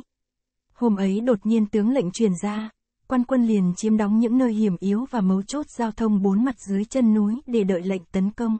Chút vừa rồi bốn tướng theo vi tiểu bảo đuổi bắt ngô ứng hùng chẳng khó nhọc gì mà đều được thăng quan, trong lòng rất lấy làm cảm kích, nên chuyến này họ ra sức lập công. Các tướng đều nghĩ bụng, hơn một vạn binh mã vây đánh bọn thổ phỉ có mấy trăm tên thì thắng cũng chẳng lấy gì làm vinh. Phải làm cách nào bắt sống hết bọn chúng, không để một tên nào lọt lưới trốn thoát mới gọi là có chút công lao nhỏ mọn. Họ nghĩ vậy rồi sai quân đào hầm hố, trăng dây ngáng chân ngựa cùng bố trí cung tiền thủ, câu liêm thương khắp cả bốn mặt tám phương chuẩn bị lên núi bắt giặc. Vì tiểu bảo tự nhủ, bây giờ mà tấn công lên núi thì dĩ nhiên bắt sống bọn tư đổ lôi rất dễ dàng nhưng chẳng được công trạng gì lớn lao. Huống chi anh em thiên địa hội lại không tán thành vụ này. Những anh hùng hảo hán trên chốn giang hồ phải lấy nghĩa khí làm trọng, không nên đắc tội với bằng hữu. Gã đang nghĩ cách để buông tha bọn tư đồ bá lôi, chợt nghe ở mặt đông chống thúc vang trời, quân gieo dậy đất. Tiếp theo, thám tử lại báo có người từ trên núi đánh xuống. Vì tiểu bảo bụng bảo dạ, trước mặt ba quân, ta chẳng thể hạ lệnh tha giặc. Bây giờ tạm thời đánh bắt sống chúng rồi sẽ thủng thẳng nghĩ cách buông tha. Gã liền hạ lệnh phải bắt sống hết bọn phỉ đồ, không được sát thương một tên nào. Bọn thân binh chờ gót bước đi loan truyền, vì tiểu bảo lại dặn thêm một câu, nhất là bọn đàn bà con gái càng nên thận trọng, đừng đả thương họ. Gã liếc mắt nhìn bọn từ thiên xuyên, tiền lão bản bất giác đỏ mặt lên, miệng lầm bầm, các người cứ yên lòng. Lần này ta quyết chẳng chịu chúng, mỹ nhân kế, rồi bị bắt như ở đảo thần long đâu mà ngại. Gã liền dẫn quần hùng trong thiên địa hội đi về phía đông để quan sát cuộc chiến đông. Bỗng thấy hơn trăm người đang từ trên lưng chừng sườn núi ảo ảo chạy xuống. Người nào cũng thân thủ rất mau lẻ, quan binh được lệnh của chủ soái truyền xuống không dám dương cung bắn tên, đành kéo từng lũ hăm hở sông tới ngăn cản. Lại nghe tiếng quát tháo vang lên không ngớt, những người ở trên núi chạy tới đều rớt xuống hố, liền bị bọn quân cầm câu liêm thương móc lên bắt lấy. Vì tiểu bảo dương to cặp mắt chú ý nhìn xem cô gái kia có ở trong đám người này không. Nhưng gã đứng cách xa quá không tài nào thấy rõ được, vì tiểu bảo lại ngừng đầu nhìn lên bỗng thấy một người vọt mình đi như bay, từ ngọn cây này chuyển qua ngọn cây khác. Khi hắn nhảy xuống, bọn quan binh xông lại ngăn cản. Người này sức mạnh phi thường không ai cản nổi. Huyền Trinh đạo nhân bất giác bật tiếng khen ngợi, hảo thân thủ, người này tiếp tục chạy tới mỗi lúc một gần, chỉ còn vài chục trượng nữa là đến chân núi. Tiền lão bản nói, người này bản lãnh cao cường, phải chăng là tư đồ bá lôi? Từ thiên xuyên đáp, ngoài tư đồ lão anh hùng tưởng không còn ai. Lão chưa dứt lời, đột nhiên vi tiểu bảo la lên, bắt lấy hắn, người này chính là vệ sĩ của ngô tam quế. Vi tiểu bảo vừa nói hết câu thì người đó đã lướt tới hơn 10 trượng nữa. Vi tiểu bảo lại hô, bắt lẹ lên, bắt lẹ lên, đừng để nó chạy thoát. Quần hùng nghe gã hô liền xong cả vào bao vây người kia. Người kia mua tít cương đao, cứ mỗi nhát đao vung lên là một tên quân bị chém ngã lăn ra. Vương Tiến bảo chống trường thương nhảy tới. Hắn nhìn rõ diện mạo người kia rồi quát hỏi, ba lãng tinh, người đến đây làm chi? Người đó chính là ba lãng tinh theo hầu kề cận ngô tam quế. Ba lãng tinh lớn tiếng đáp, ta vâng tướng lệnh của Bình Tây Vương đến đây giết tên phản tặc, tư đổ bá lôi để trừ hại cho triều đình. Sao các vị lại cản trở ta? Bọn từ thiên xuyên nghe nói đều giật mình kinh hãi, chú ý nhìn kỹ thấy hắn đeo ở sau lưng một cái đầu lâu máu thịt bầy nhầy, chẳng hiểu có phải tư đồ bá lôi hay không. Quần hùng xông cả vào, vương tiến bảo hô lớn, vì đô thống ở đây, người hãy buông khí giới lại tham kiến đô thống để chờ ngài phát lạc. Ba lãng tinh đáp, hay lắm, hắn bỏ cương đào xuống đất, chạy lẹ tới lớn tiếng hô, xin tham kiến đô thống đại nhân. Vì tiểu bảo hỏi, người đến đây, Gã chưa dứt lời, bà lãng tinh đột nhiên nhảy vọt lên, đưa 10 đầu ngón tay khoằm khoằm như móc câu chụp vào mặt và xuống trước ngực vi Tiểu bảo. Vì tiểu bảo sợ quá la hoàng, ôi mẹ ơi là mẹ, dối xoay mình chạy trốn. Nhưng ba lãng tinh võ công rất cao cường, thân thủ cực kỳ mau lẹ. Bỗng nghe đánh, doạc, một tiếng, tay trái hắn móc vào vạt áo sau lưng vi tiểu bảo kéo rách toạc một mảnh. Tay mặt hắn toàn tiếp tục chụp xuống đầu gã thì đột nhiên ở mé hữu có người vung chân đá lại. Phát đá vừa mau vừa mạnh nhằm yếu huyệt trên lưng hắn. Bà lãng tinh không dám rượt theo vi tiểu bảo nữa. Hắn nghiêng mình né tránh. Địch nhân lại vung quyền đánh tới trước mặt.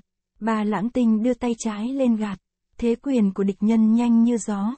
Quyền đấm, trưởng chém, tấn công tới tấp bằng những chiêu số rất tinh kỳ, khiến cho bà lãng tinh phải luôn luôn chiết dài.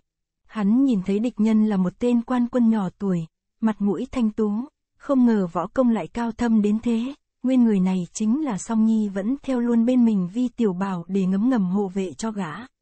Bà lãng tinh đỡ gạt được mấy chiêu của Song Nhi thì bọn phong tế chung, từ thiên xuyên, tiền lão bản ba người đồng thời xuất thủ.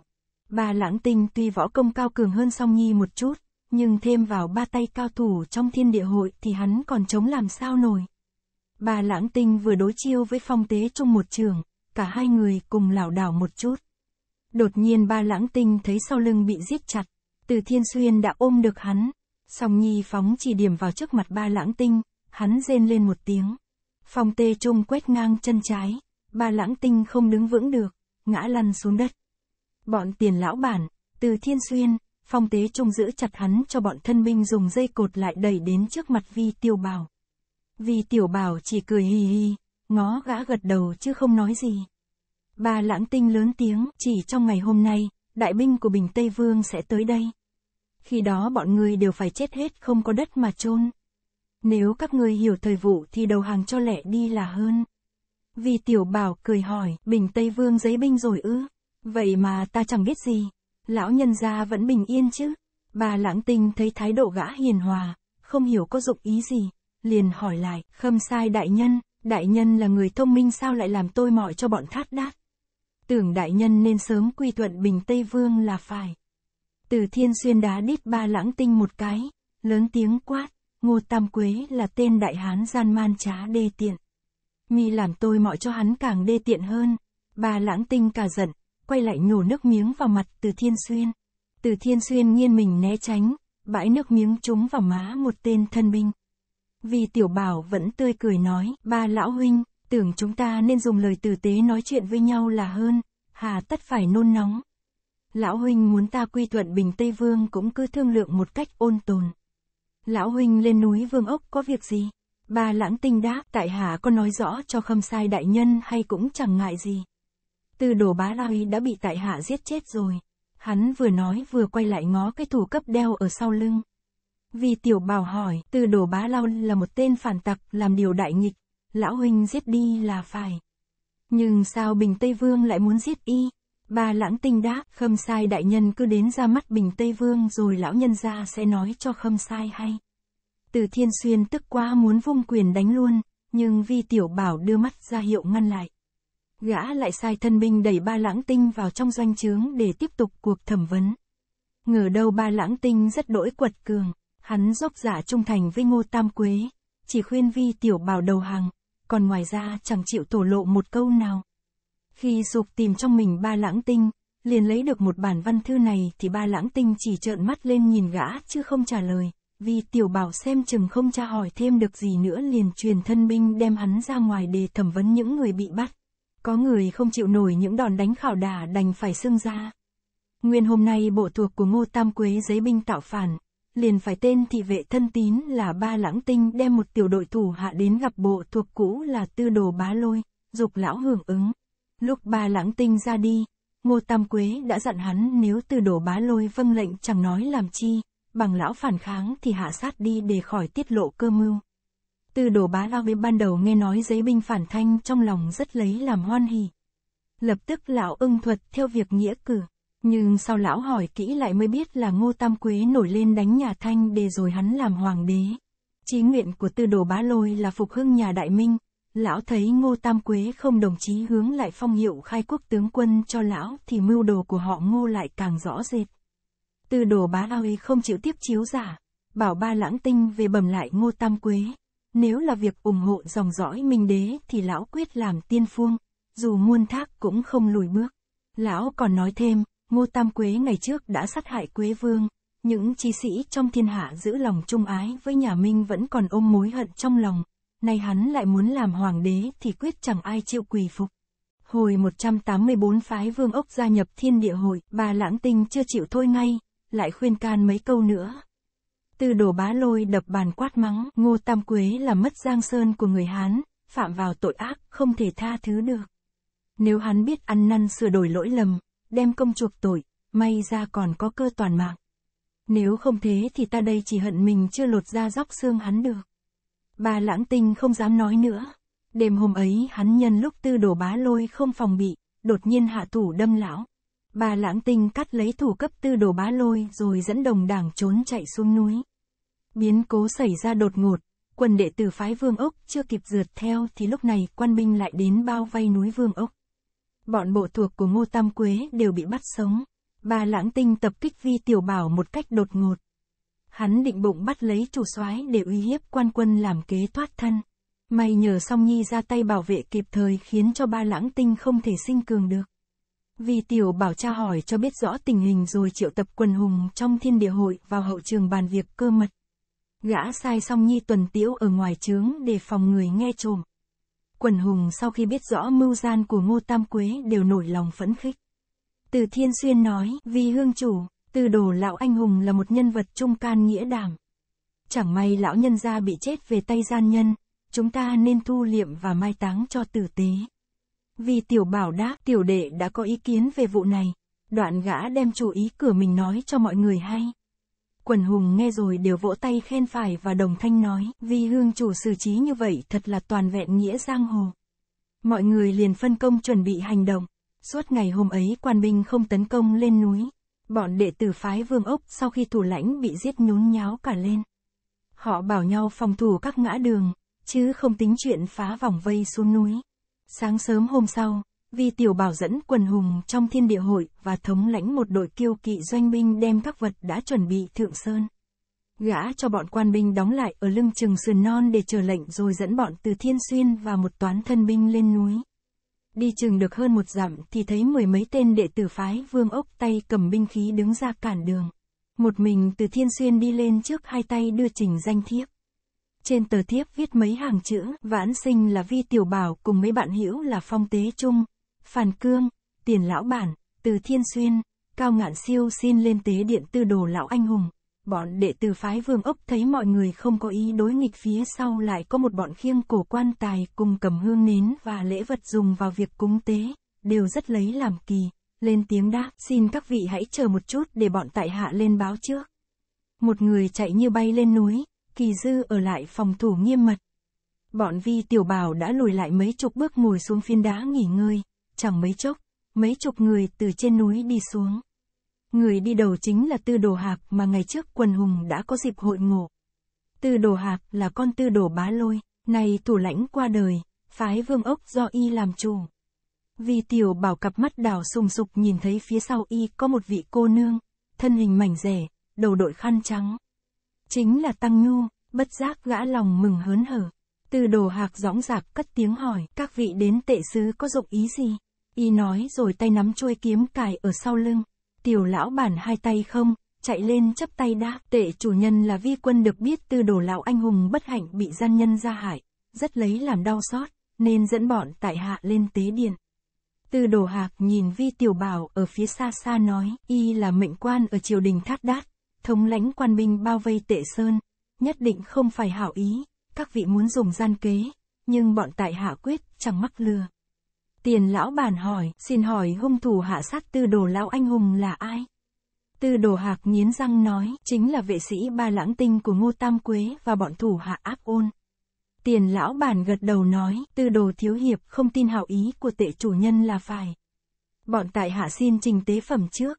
Lão quay lại hô, đem lên đây. Hai tên thân binh đẩy một người từ từ đi lên.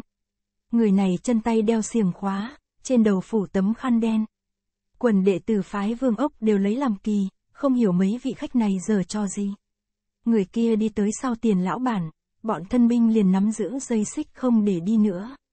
Tiền lão bản nói, xin tư đồ thiếu hiệp, hãy coi đây. Lão nói rồi đưa tay ra lật tấm khăn đen trùm trên đầu người kia. Hắn chính là ba lãng tinh. Ba lãng tinh trợn mắt ra chiều phẫn nộ. Quần đệ tử phái vương ốc vừa ngó thấy, tức giận quát lên, đúng tên gian tặc này rồi. Giết chết nó đi, mấy người rút khí giới ra loảng xoảng vung kiếm lên, toàn băm vằm ba lãng tinh. Từ đổ hạc vội đưa tay ra cản mọi người nói, hãy khoan, y chắp tay nhìn tiền lão bản hỏi, các hạ bắt được gian nhân, tại hạ chưa hiểu muốn sư trí cách nào. Tiền lão bản đáp, tệ chủ nhân vốn đem lòng ngưỡng mộ tư đồ lão anh hùng, hơn nữa ngày trước đã có duyên hội ngộ tư đồ thiếu hiệp một lần. Này bắt được hung thủ cùng bọn ác tặc của hắn xin đem hết lên để thiếu hiệp mổ chúng tế điện trước hương hồn tư đồ lão anh hùng. Tư đồ hạc sừng sốt tự hỏi, trong thiên hạ sao lại có hảo sự đến thế này? Y nghiêng đầu ngó ba lãng tinh, trong lòng bán tín bán nghi tự nhủ, bọn thắt đát rất rào quyệt, tất có gian kế chi đây. Ba lãng tinh đột nhiên lớn tiếng thoá mạ, tổ bà nó, làm gì mà ngó dữ vậy? Lão già của bọn mi chính ta đã hạ sát đó. Tiền lão bản vung tay mặt đánh vào sau lưng hắn, lại phóng chân trái đá vào đít hắn. Bà lãng tinh chân tay bị cột khó bề né tránh, liền ngã chui xuống bên cạnh tư đồ hạc không đứng lên được nữa. Tiền lão bản nói, đây là chút lễ vật nhỏ mọn của tệ chủ nhân. Xin các hạ tùy ý xử trí tên gian nhân này. Lão quay lại hô, đem hết cả lên đây. Một đội thân binh liền áp giải hơn trăm phạm nhân bị xiềng xích đi tới. Trên đầu tên nào cũng trùm một tấm vải đen. Mở tấm khăn phủ ra rồi ai cũng trông rõ là bọn bộ thuộc của ba lãng tinh. Tiền lão bản nói, xin tư đồ thiếu hiệp thu hết bọn chúng đi. Bây giờ tư đồ hạc không còn hoài nghi gì nữa. Nhìn vi tiểu bảo cúi xuống sát tận đất nói, thịnh tình của tôn giá khiến cho tệ phái cảm kích vô cùng. Nhưng y tự hỏi, gã đưa ra món giao tình lớn lao này, không hiểu để cầu cạnh điều chi. Chẳng lẽ chúng mong ta đầu hàng bọn thát đát? Cái đó thì không được đâu. Vì tiểu bảo rảo bước tiến lên đáp lễ nói, bữa trước được tư đồ huynh và tăng cô nương đánh một canh bạc, bao giờ cũng ghi nhớ trong lòng, chỉ mong có ngày tái hội, gã trỏ cỗ quan tài ở phía sau nói tiếp, di thể của tư đồ lão anh hùng hiện ở trong này. Bây giờ xin đưa lên để giáp thân mình vào rồi làm lễ an táng. Tư đồ bá hôi đầu một nơi, mình một nẻo, thủ cấp của lão bị ba lãng tinh đem xuống núi khiến cho đệ tử phái vương ốc căm hận không biết đến thế nào. Bây giờ chúng nghe nói thủ cấp của sư phụ đã đưa trở về, trong lòng rất được an ủi. Từ đồ hạc là người rất tinh tế, vẫn sợ có điều gian trá. Bước lại gần cổ quan tài thấy nắp chưa đóng chặt liền mở ra, coi thì quả nhiên thủ cấp của phụ thân y đặt bên trong. Bất giác y nổi lòng xúc động, nằm phục xuống đất mà khóc giống lên. Bọn đệ tử thấy tư đồ hạc xót xa thân phụ cũng động mối thương tâm, đều quỳ cả xuống khóc lóc thảm thiết. Tư đồ hạc đứng kêu một tên sư đệ cùng mình thân hành khiêng lấy quan tài đi lên núi. Y nhìn vi tiểu bảo nói, mời tôn giá lên đây thắp hương trước linh tỏa của tiên phụ. Vi tiểu bảo đáp, dĩ nhiên tại hạ phải dập đầu trước hương hồn của lão anh hùng. Gã truyền cho bọn thân binh chờ ở ngoài cửa núi, chỉ đưa song nhi cùng anh em thiên địa hội đi theo tư đồ hạc. Khi gã đi đến bên tăng nhu, khẽ cất tiếng hỏi, tăng cô nương, cô nương vẫn bình yên chứ?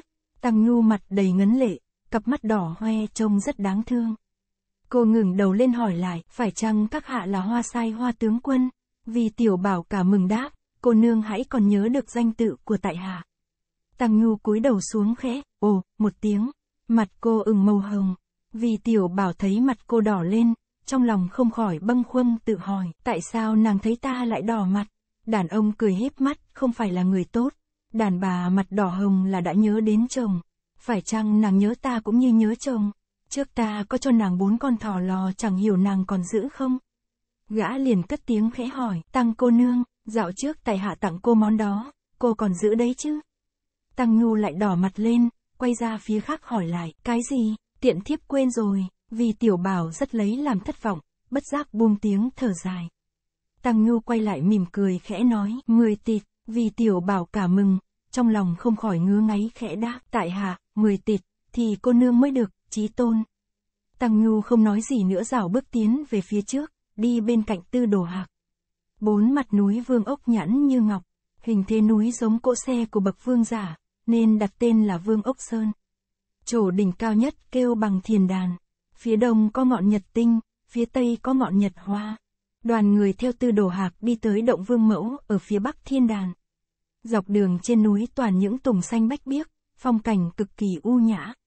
Trong đạo thư, núi Vương Ốc còn gọi là thiên động Thanh Hư, và liệt vào hàng thứ nhất trong 36 thiên động khắp thiên hạ. Người ta truyền lại ngày xưa vua hoàng đế đã tương hội với vương mẫu ở sơn động này, nên gọi là vương mẫu động, quần đệ tử phái vương ốc ở động vương mẫu cùng những sơn động phụ cận. Trong những sơn động này về mùa đông rất ấm áp mà về mùa hạ lại mát mẻ, khí hậu tốt lành hơn cả ở các tòa nhà quanh vùng. Linh vị của tư đồ bá lôi thiết lập ở động vương mẫu. Bọn đệ tử trong phái khâu thủ cấp tư đồ bá lôi liền vào mình rồi làm lễ nhập liệm. Vì tiểu bảo cầm đầu anh em thiên địa hội đến thắp hương trí tế trước linh tòa. Gã quỳ xuống vừa dập đầu vừa tính thầm trong bụng muốn lấy lòng tăng cô nương, mình phải tỏ ra rất đau xót, càng bi ai thống thiết càng hay. Lối khóc giả vờ của gã đã bắt trước trong những màn tuống hát. Gã lại nghĩ tới mình bị khốn khổ về món độc trường của giả thái hậu, những mối nguy hiểm khi bị hồng giáo chủ bắt được, những màn kịch cay đắng vì bị Phương Di lừa gạt, A Kha chỉ thương yêu trịnh khắc sảng, chứ không đếm xỉa gì đến mình lần lượt hiện ra trong đầu óc. Bất giác mối đau thương tự đáy lòng nổi lên rồi gã cả tiếng khóc ròng. Ban đầu gã còn khóc một cách miễn cưỡng, nhưng càng về sau gã càng khóc, càng thống thiết đễ thương cho thân thế mình. Miệng gã kể lể, than vãn, từ đồ lão anh hùng ơi! Vãn bối đã ngưỡng mộ từ lâu lão anh hùng là một bậc trung thần nghĩa sĩ, là một đấng anh hùng hào hán. Năm trước vãn bối lại được thấy kiếm pháp của lệnh lang càng biết rõ võ công của lão anh hùng rất cao cường, chỉ mong có một ngày đến bái sư xin vào làm môn hạ, hoặc làm đồ tử đồ tôn để học lấy mấy chiêu thức võ công đẳng nở mày nở mặt trên chốn giang hồ. Ngờ đầu chí nguyện chưa thành thì lão anh hùng đã bị gian nhân ám hại, hu hu. Hỡi ơi, mối thương tâm đến thế này thật là cùng cực. Từ đồ hạc cùng tăng nhu trong lòng vốn đã xót thương thân phụ, nghe vi tiểu bảo vừa khóc vừa kể lể nỗi niềm làm vang động cả động vương mẫu hai người càng xúc động khóc giống lên. Bọn từ thiên xuyên, phong tế trung không khỏi bị mối đau thương của mọi người làm cho cảm xúc, cũng đẫm đìa nước mắt. Vì tiểu bảo dậm chân đấm ngực kêu gào khóc lóc càng về sau càng thảm thiết tưởng chừng đến mất người, khiến cho bọn đệ tử phái vương ốc đến bên khuyên giải hồi lâu, gã mới thu lệ. Vì tiểu bảo lại kéo ba lãng tinh đến gần tư đồ hạc và cầm thanh cương đao đưa cho y, nói, tư đồ thiếu hiệp, thiếu hiệp hãy giết tên gian tặc này đi để rửa hờn cho lệnh tôn. Tư đồ hạc đón lấy cương đao chặt thủ cấp ba lãng tinh đặt lên linh tòa. Bọn đệ tử phái vương ốc đều hướng về phía vi tiểu bảo bái tạ ơn đức. Vi tiểu bảo hãy còn nhỏ tuổi, không nghĩ ra được kế gì để mua chuộc lòng người, gã liền học lối diễn tuồng trong tấn, ngọa long điếu hiếu. Trong tấn tuồng này Châu Du bị Gia Cát Lượng trêu tức phải hộc máu ra mà chết. Rồi Gia Cát Lượng thân hành đến xài tang chi tế khóc lóc rất bi ai khiến cho các tướng bên Đông Ngô vừa cảm kích vừa bội phục.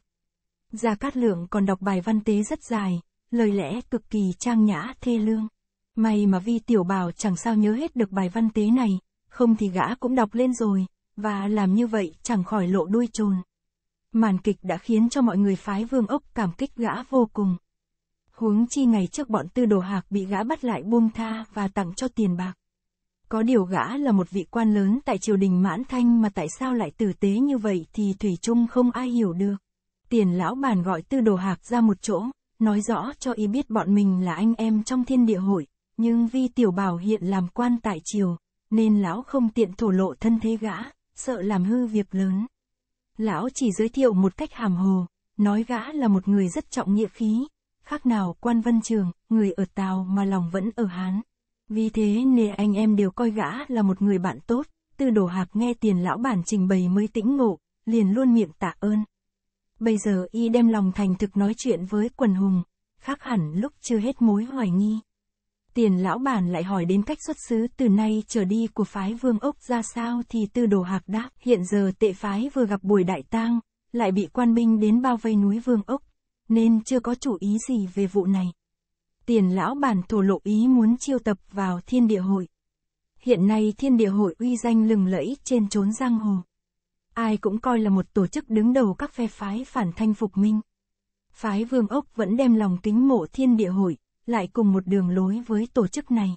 Từ đồ hạc nghe tiền lão bản thuyết một hồi, trong bụng mừng thầm, liền thương nghị với các vị sư huynh sư đệ trong bản phái và được mọi người đều tỏ ý tán thành. Từ đồ hạc lại đến nói chuyện với tiền lão bản yêu cầu gia nhập thiên địa hội. Bây giờ tiền lão bản mới cho y biết vì tiểu bảo chính là hương chủ ở thanh mộc đường trong thiên địa hội. Chiều hôm ấy thanh mộc đường khai hội ở ngay động vương mẫu để tu nạp quần đệ tử phái vương ốc gia nhập bản hội. Mọi người làm lễ tham bái hương chủ và từ đây họ thành bộ thuộc của vi tiểu bảo. Vi tiểu bảo trong lòng hoan hỉ khôn xiết, gã cùng quần hùng uống rượu kết minh xong, lại muốn mở cuộc đánh bạc để anh em đồng chí tân cựu vui chơi một phen, nhưng từ thiên xuyên và tiền lão bản vội cản trở, vì chuyện đánh bạc đùa giỡn ở tang gia là một điều bất kính đối với tư đồ bá lôi vừa mới qua đời. Vì tiểu bảo không được đánh bạc đâm ra cụt hứng, gã hỏi đến cách phát lạc phái vương ốc sau khi xong việc an táng tư đồ bá lôi thì từ thiên xuyên đáp, núi vương ốc là chỗ giáp giới hai tỉnh Sơn Tây và Hà Nam, không thuộc về quản hạt thanh mộc đường của chúng ta. Chiếu theo quy luật của bản hội thì có thể vượt bờ cõi lấy người vào hội, nhưng những anh em các đường không thể hành động ra ngoài phạm vi biên giới của mình. Vậy hay hơn hết là các vị tư đồ huynh đệ di cư sang tỉnh trực lệ. Tiền lão bản nói theo, hoàng đế thát đát sai vi hương chủ đánh dẹp núi vương ốc mà các vị tư đồ huynh đệ không ở lại núi này nữa thì vi hương chủ càng dễ bề phục mạng. Tư đồ hạc đáp, đúng thế, tiểu đệ xin kính cần tuân theo lời dạy của các vị đại ca. Vì tiểu bảo nói, tư đồ đại ca, bây giờ bọn tiểu đệ đến thành Dương Châu xây tòa miếu trung liệt để tuyên dương tấm lòng trung nghĩa của sử các bộ. Sau khi xây xong tòa miếu này liền kéo đi đánh ngô tam quế. Tư đồ hạc đứng lên lớn tiếng đáp vi hương chủ mà đi đánh ngô tam quế thì thuộc hạ xin làm tiên phong, thống lãnh các vị sư thúc, sư huynh sư đệ, sư tỷ sư muội cùng ngô tam quế quyết một trận sống mái để báo thù cho tiên phụ. Vì tiểu bảo cả mừng nói, được thế thì còn gì hay bằng. Vậy các vị theo bọn tiểu đệ sang thành Dương Châu. Nhưng các vị phải chịu khuất tất một chút là hóa trang làm quan binh thắt đát mới tiện việc hành động. Tư đồ hạc đáp được đi đánh ngô tam quế thì có bị khuất tất thế nào bọn tiểu đệ cũng cam tâm. Vì hương chủ đã làm quan thát đát, thì bọn tiểu đệ làm binh sĩ thát đát cũng được chứ sao. Huống chi từ đại ca, tiền đại ca cùng các vị trắng đã cải trang làm binh sĩ thát đát rồi là gì? Tối hôm ấy mọi người an táng từ đồ bá lôi xong liền thu thập xuống núi, những trai tráng biết võ công đều theo vi tiểu bảo đi Dương Châu. Còn người già yếu và đàn bà trẻ con di cư về phủ bảo định trước. Nơi nào có phân đà của thanh mộc đường trong thiên địa hội là có người chiếu biện cho cuộc di cư chu đáo được. Vì tiểu bảo nói với bọn Trương Dũng là bọn phỉ đồ trên núi Vương Ốc thấy đại quân kéo đến bao vây, biết rằng khó bề trốn thoát, nên gã mở đường cho họ quy hàng hết. Gã đã chiêu an thu nạp vào làm quan binh, bọn Trương Dũng đều đưa lời khánh hạ, đô thống đại nhân gia quân không đổ máu mà bình định ngay được bọn cường phỉ trên núi Vương Ốc, lập lên công lớn. Thật là đáng mừng, vì tiểu bảo đáp đây chính là công lao của bốn vị tướng quân. Nếu các vị không vây chặt núi Vương Ốc để chúng hết đường trốn thoát thì chúng nhất quyết không chịu đầu hàng. Vụ này tiểu đệ sẽ tâu rõ về triều đình để thăng thưởng cho các vị. Bốn tướng mừng rỡ khôn xiết. Họ biết rằng quan binh bộ thượng thư Minh Châu đang hết sức tân công với vi đô thống. Gã chỉ cần báo công lao về là binh bộ nhất định thỏa mãn đề nghị. Ban đầu vi tiểu bảo chỉ lo tăng nhu theo bọn đàn bà ở núi Vương Ốc di cư sang phủ bảo định trước. Dù gã muốn chỉ định bảo cô đi Dương Châu cũng khôn bề mở miệng. Bây giờ gã thấy cô cải dạng nam trang đi theo tư đồ hạc thì trong lòng khoan khoai không bút nào tả xiết. Dọc đường gã chỉ muốn tìm cơ hội thân cận với Tăng Nhu, nhưng cô theo sát các vị sư huynh, chẳng lúc nào rời xa nửa bước. Khi cô ngó thấy gã chỉ mỉm cười chứ không nói gì. Vì tiểu bảo muốn nói mấy lời thương yêu cũng không tiện. Trong lòng gã ngứa ngáy khó chịu mà chẳng biết làm thế nào. Giả tỷ gã chỉ làm chức chủ soái thì còn có thể dĩ công vi tư, điều động cô như một tên tiểu thân binh vào doanh trướng hầu hạ. Nhưng khốn nỗi gã còn làm hương chủ trong thiên địa hội, thì việc trêu cợt phụ nữ trong hội là điều nghiêm cấm, lại đối với anh em cũng chẳng còn mặt mũi nào. Gã có thèm khát cũng đành ngấm ngầm nuốt nước miếng để chờ cơ hội. Dọc đường các địa phương quan ninh tiếp đều đưa đổ lễ rất hầu.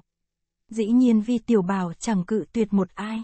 Càng đi xuống phía nam, hành lý càng thêm trầm trọng. Vì tiểu bảo thường nói với anh em thiên địa hội, chúng ta muốn phá hoại nền chính trị của triều đình thát đát, cần phải lấy của đốt thật nhiều. Các quan viên địa phương mà thanh danh bất hảo thì lúc giấy binh tạo phản càng dễ thành công. Bọn từ Thiên Xuyên cũng cho là phải. Một hôm đoàn quan quân kéo đến địa hạt Dương Châu. Các quan tỉnh Giang Tô như tuần phủ, bố chính sứ, án sát sứ, các quan học chính cùng các viên chức phụ trách binh lương đạo Hoài Dương, đạo Hà Công, sau đến các quan tri phủ Dương Châu, chi huyện Giang Tô cùng võ quan các cấp ở mấy phủ huyện này được tin khâm sai đại nhân tới đều ra xa mấy dặm nghinh tiếp. Hành viên của khâm sai nguyên đặt ở nha môn đạo Hoài Dương, nhưng Vi tiểu bảo thấy ở đây có điều câu thúc, không được tự do, nên chỉ nghỉ lại một đêm rồi hôm sau dọn đi ngay. Gã muốn đặt hành viên ở ngay trong lệ xuân viện là nơi cư trú của gã ngày trước.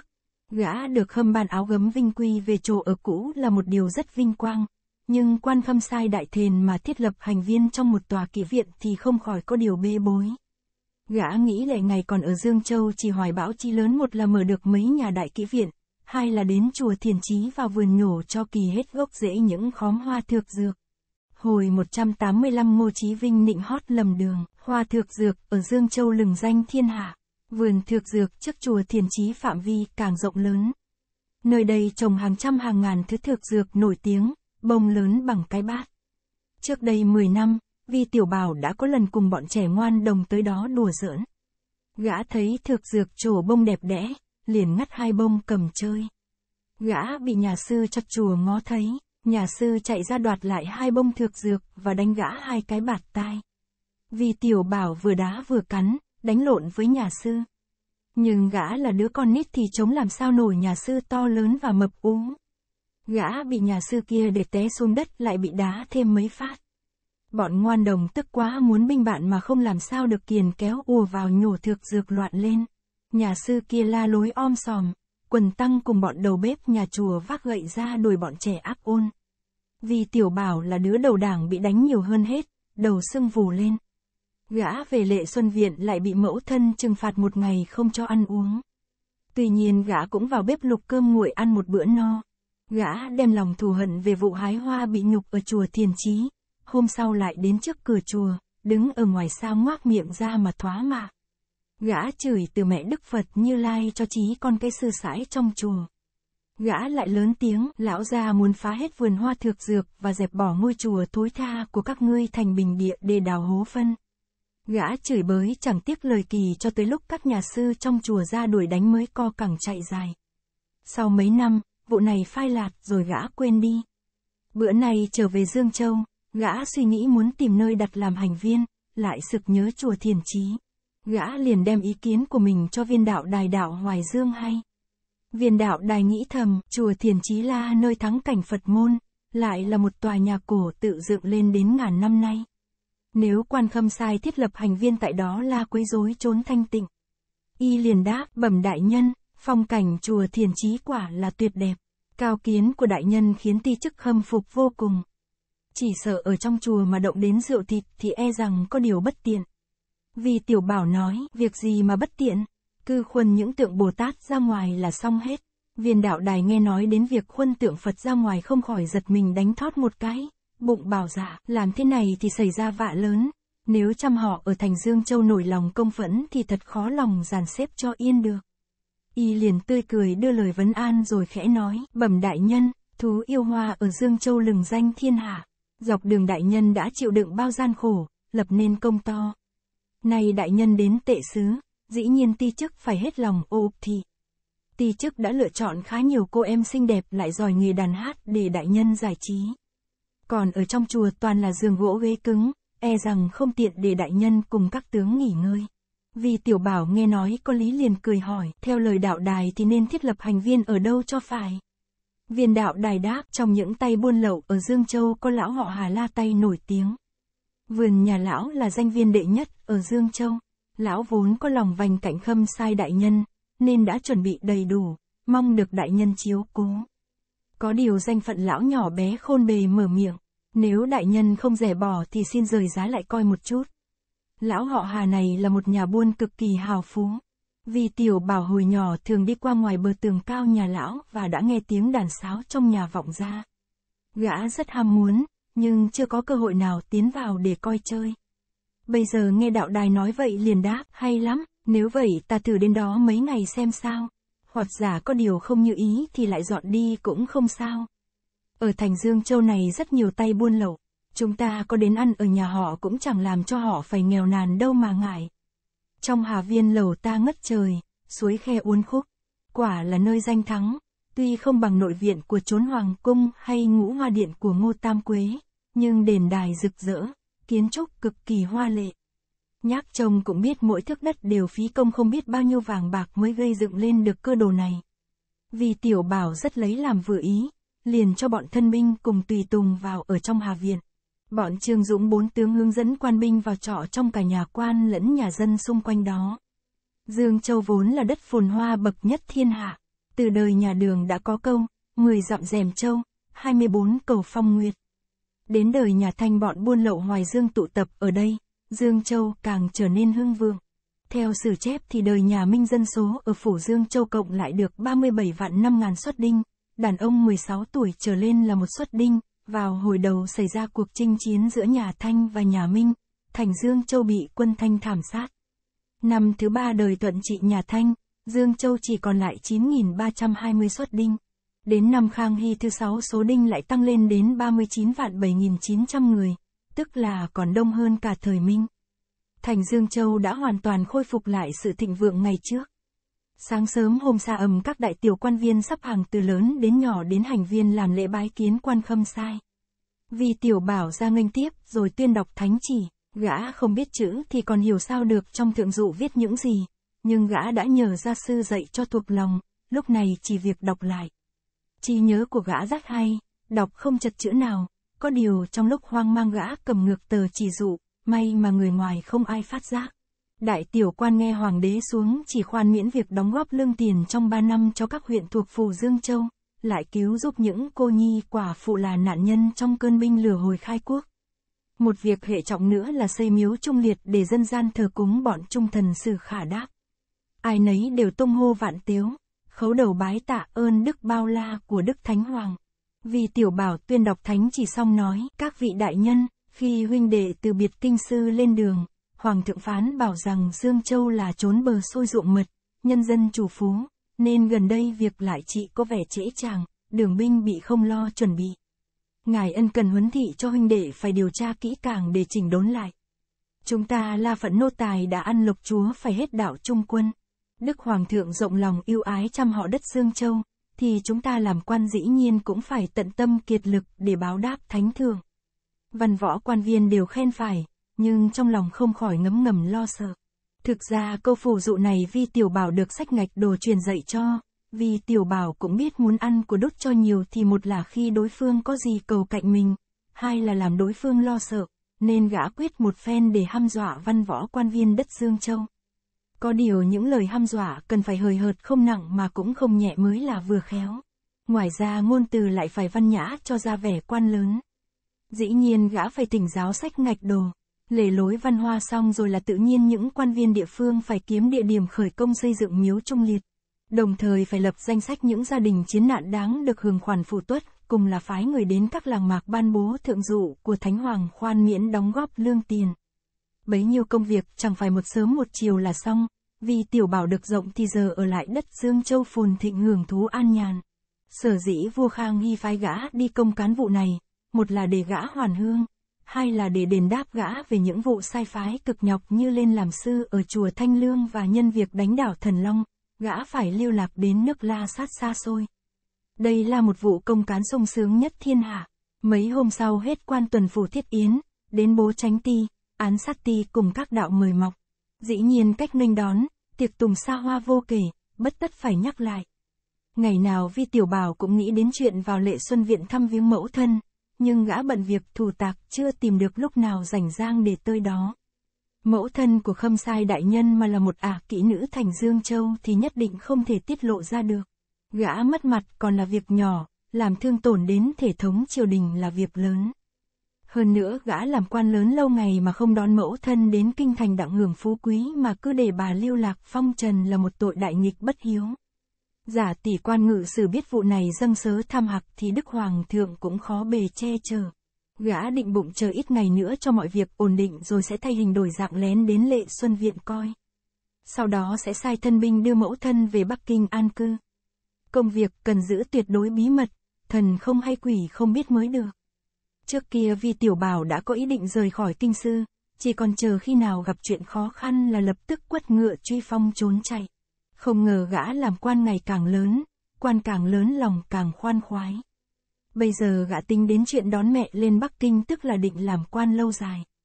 Sau mấy hôm, viên quan phủ Dương Châu La Ngô Chí Vinh cũng thiết yến tẩy trần mời quan khâm sai.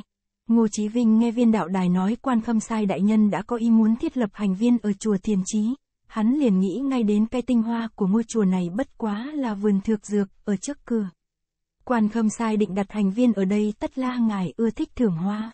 Hắn còn là con người rất khôn khéo trong việc tiếp đón quan trên, nên mấy bữa trước dựng lên một cái hoa bằng trong vườn hoa thược dược. Hắn mượn những tay thợ khéo lấy nhiều cành tùng mà không bóc vỏ để dựng dạp.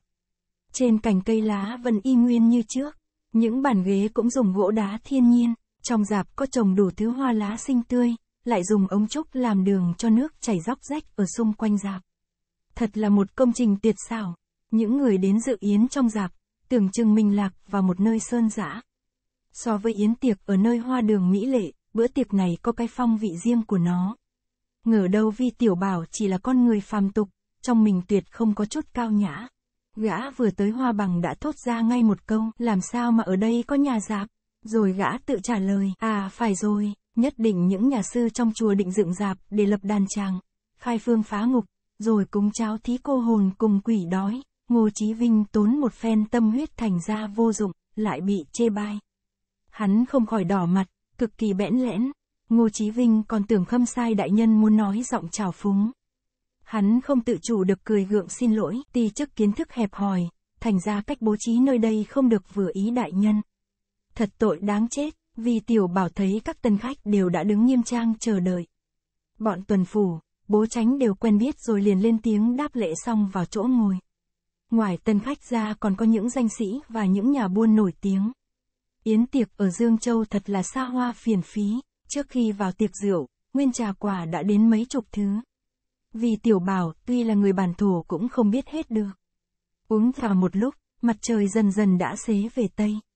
Ánh dương quang chiếu vào hàng ngàn cây thực dược trồng ở ngoài hoa bằng khiến cho cảnh sắc càng thêm rực rỡ, khác nào một bức gấm khổng lồ. Vì tiểu bảo càng nhìn thấy thược dược lại bực tức, vì gã nhớ tới ngày xưa mình đã bị nhục về tay bọn sư sãi trong chùa thiền trí vì mấy bông hoa này. Gã hận mình chẳng thể nhổ bỏ hết bao nhiêu hoa cho bỏ ghét. Gã đang nghĩ cách hạ thủ, bỗng nghe quan tuần phủ cười nói, vì đại nhân, nghe khẩu âm của đại nhân thi dường như đã có dịp ngài ở giải đất Hoài Dương một thời gian. Thủy thủ Hoài Dương quả là địa linh nhân kiệt, đã sinh bậc hiền tài lại sản xuất nhiều hoa đẹp. Các quan khách chỉ biết quan khâm sai đại nhân là người mãn châu thuộc đạo chính Hoàng Kỳ. Mấy bữa nay họ nghe thanh âm gã giống hệt thổ ngữ ở Dương Châu, nên nhân cơ hội này tâng bốc gã một phen. Vì tiểu bảo đang nghĩ tới bọn tăng nhân khả ố chùa thiền trí nên buột miệng đáp, nhưng bọn hòa thượng ở Dương Châu lại chẳng ra gì. Quan tuần phủ ngơ ngác không hiểu câu này chỉ trích ai. Quan bố tránh là người học rộng lại khôn ngoan nên nói theo, nhận xét của vi đại nhân rất đúng. Những nhà sư ở Dương Châu chuyên nghề vụ lợi, nịnh hót quan nha, lấn át kẻ cùng nghèo. Thói quen đã có từ xưa nay. Vì tiểu bảo hớn hở vui mừng nói, phải lắm, đại nhân học nhiều hiểu rộng, chắc còn nhớ trong sách đã chép vụ này. Quan bố tránh cười đáp, thưa đại nhân, thiên cố sử, vương bá sa lung, há chẳng do đất Dương Châu này mà ra. Vì tiểu bảo đã ưa nghe chuyện cổ tích, lại là một chuyện có liên quan đến những nhà sư ở Dương Châu, gã không nhịn được hỏi ngay, thiên cố sự về hoàng bá tỷ sa lung làm sao? Người Trung Hoa phát âm chữ vương cũng như chữ hoàng, chữ bích như chữ tỷ, viên bố tránh đáp, thiên cố sự này ở chùa Thạch Tháp trong thành Dương Châu mà ra.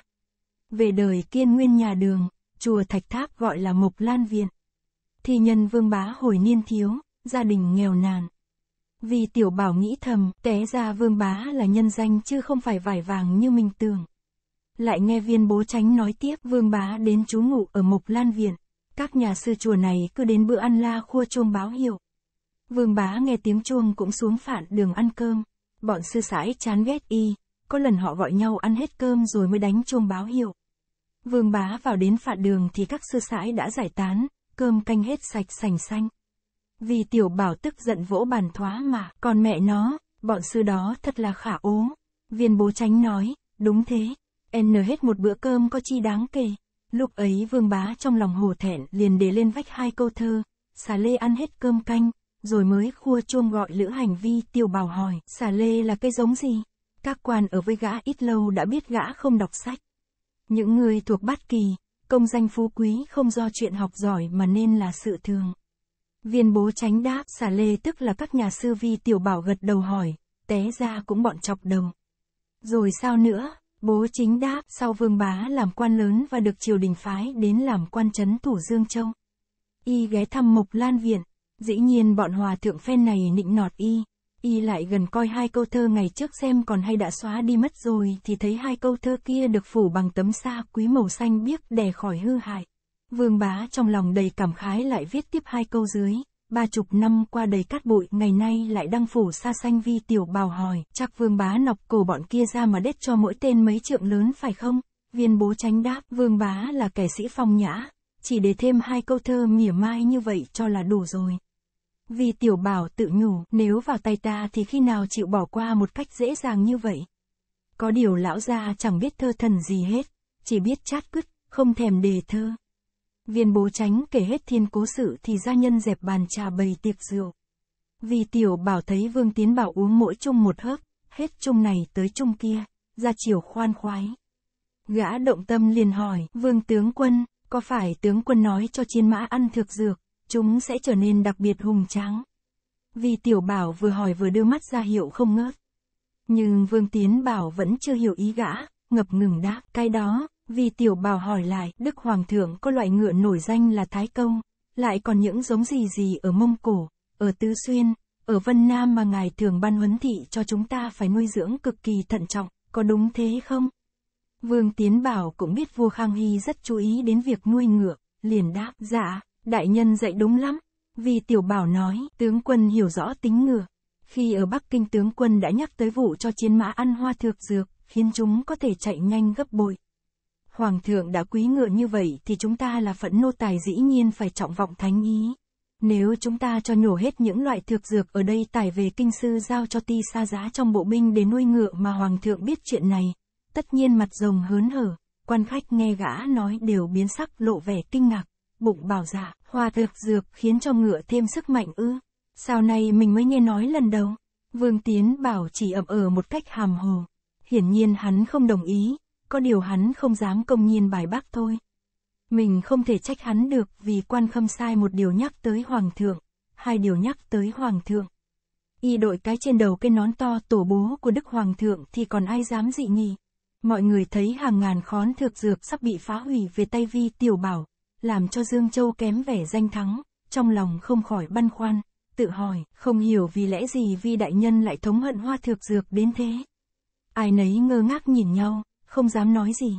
Tri phủ Ngô Chí Vinh lên tiếng vì đại nhân học vấn nguyên bác, khiến cho người ta phải khâm phục. Dễ cây thược dược kêu bằng xích thược. Trong bản thảo cương mục nói công dụng của nó làm cho máu huyết lưu thông. Và lại trong thực dược đã có chữ, dược, đủ biết cổ nhân dùng nó làm lương dược.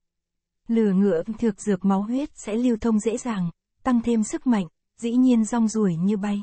Mai đây đại nhân hồi kinh, ti chức xin sai người nhổ hết thược dược ở đây để đại nhân đưa về. Các quan nghe Ngô Chí Vinh nói như vậy đều mắng thầm tên chi phủ hèn hạ, vì nịnh hót quan trên mà phá hủy cảnh quan của Dương Châu. Vì tiểu bảo vỗ tao cười nói, Ngô Đại Nhân quả là tay làm việc mẫn cán. Hay quá, hay quá, Ngô Chí Vinh lấy làm đắc ý vội rời chỗ ngồi, bước ra đưa lời thỉnh an rồi nói, đa tạ Đại Nhân đã ban khen, Quan bố tránh chạy ra vườn ngắt một bông hoa bằng miệng bát, rồi trở vào cầm hai tay dâng lên cho vi tiểu bảo và cười nói, xin đại nhân cài bông hoa này lên chóp mũ rồi ti chức xin kể một thiên cố sự để đại nhân nghe. Vi tiểu bảo thấy nói lại có một thiên cố sự kiền đón lấy bông hoa ngắm nghía. Những cánh bông thược dược này màu hồng, ngang lưng đều có một đường dây vàng coi rất đẹp. Gã cài bông hoa vào chóp mũ, viên bố tránh nói tiếp công hỷ đại nhân, Bông hoa thược dược này mang tên, kim đái vi, đai lưng vàng. Nó là một thứ nổi danh và rất hiếm. Trong cổ thư có câu, hễ thấy kim đái vi, ngày sau sẽ làm tể tướng vi tiểu bảo cười hỏi, cái đó lấy gì làm chuẩn đích? Viên bố tránh đáp thiên cố sự này có từ đời Bắc Tống. Khi ấy Hàn Ngụy Công tên gọi là Hàn Cơ làm chấn thủ thành Dương Châu thì trong vườn thược dược ở chùa Thiền Trí đột nhiên có một khám nở bốn bông lớn. Cánh hoa hồng thẫm, lưng đeo đai vàng, tức là thứ kim đái vi này. Trước kia chưa ai thấy nó nên là giống chân quý, kỳ dị. Bọn thuộc hạ báo lên quan trên. Hàn Ngụy Công lì ẩn giá lâm thưởng thức, ngài rất vui mừng mời thêm ba vị tân khách đến cùng thưởng hoa. Vì tiểu bảo liền lấy bông hoa xuống coi lại quả thấy màu hồng óng ánh với màu vàng nên rực rỡ khác thường. Nó khác với trăm hoa ở chỗ có đường dây vàng. Viên bố tránh lại nói tiếp khi ấy thành Dương Châu có hai nhân vật nổi danh là Vương Khuê và Vương An Thạch. Hai nhân vật này tài học hơn đời. Hàn Ngụy Công nghĩ bụng, hoa có bốn bông mà người lại chỉ có ba, thành ra cái đẹp không được hoàn mỹ, cần mời thêm một vị nữa mới được. Nhưng nghĩ không ra ai xứng đáng, Viên bố tránh ngừng lại một chút rồi kể tiếp, Hàn Ngụy Công còn đang ngần ngừ, chợt có người tới bái phỏng tên gọi Trần Thăng Chi. Trần Thăng Chi cũng là một danh sĩ. Hàn Ngụy Công mừng rỡ vô cùng. Hôm sau ngài mở đại yến ở trước cửa vườn thược dược. Ngài ngắt bốn bông cầm đái vĩ cho mỗi người cài lên đầu. Thiên cố sự này gọi là tứ tướng châm hoa yến.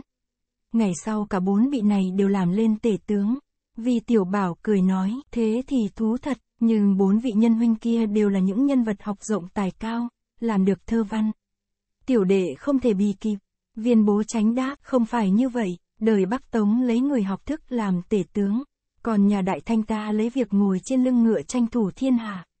Đúc Hoàng thượng rất trọng vọng những bậc anh hùng hào hán, dũng cảm và lắm mưu trí. Vì tiểu bảo nghe nói đến những chữ, anh hùng hào hán dũng cảm mưu mô, để bình luận nhân tài bất giác trong lòng khoan khoái lầm nhầm gật đầu.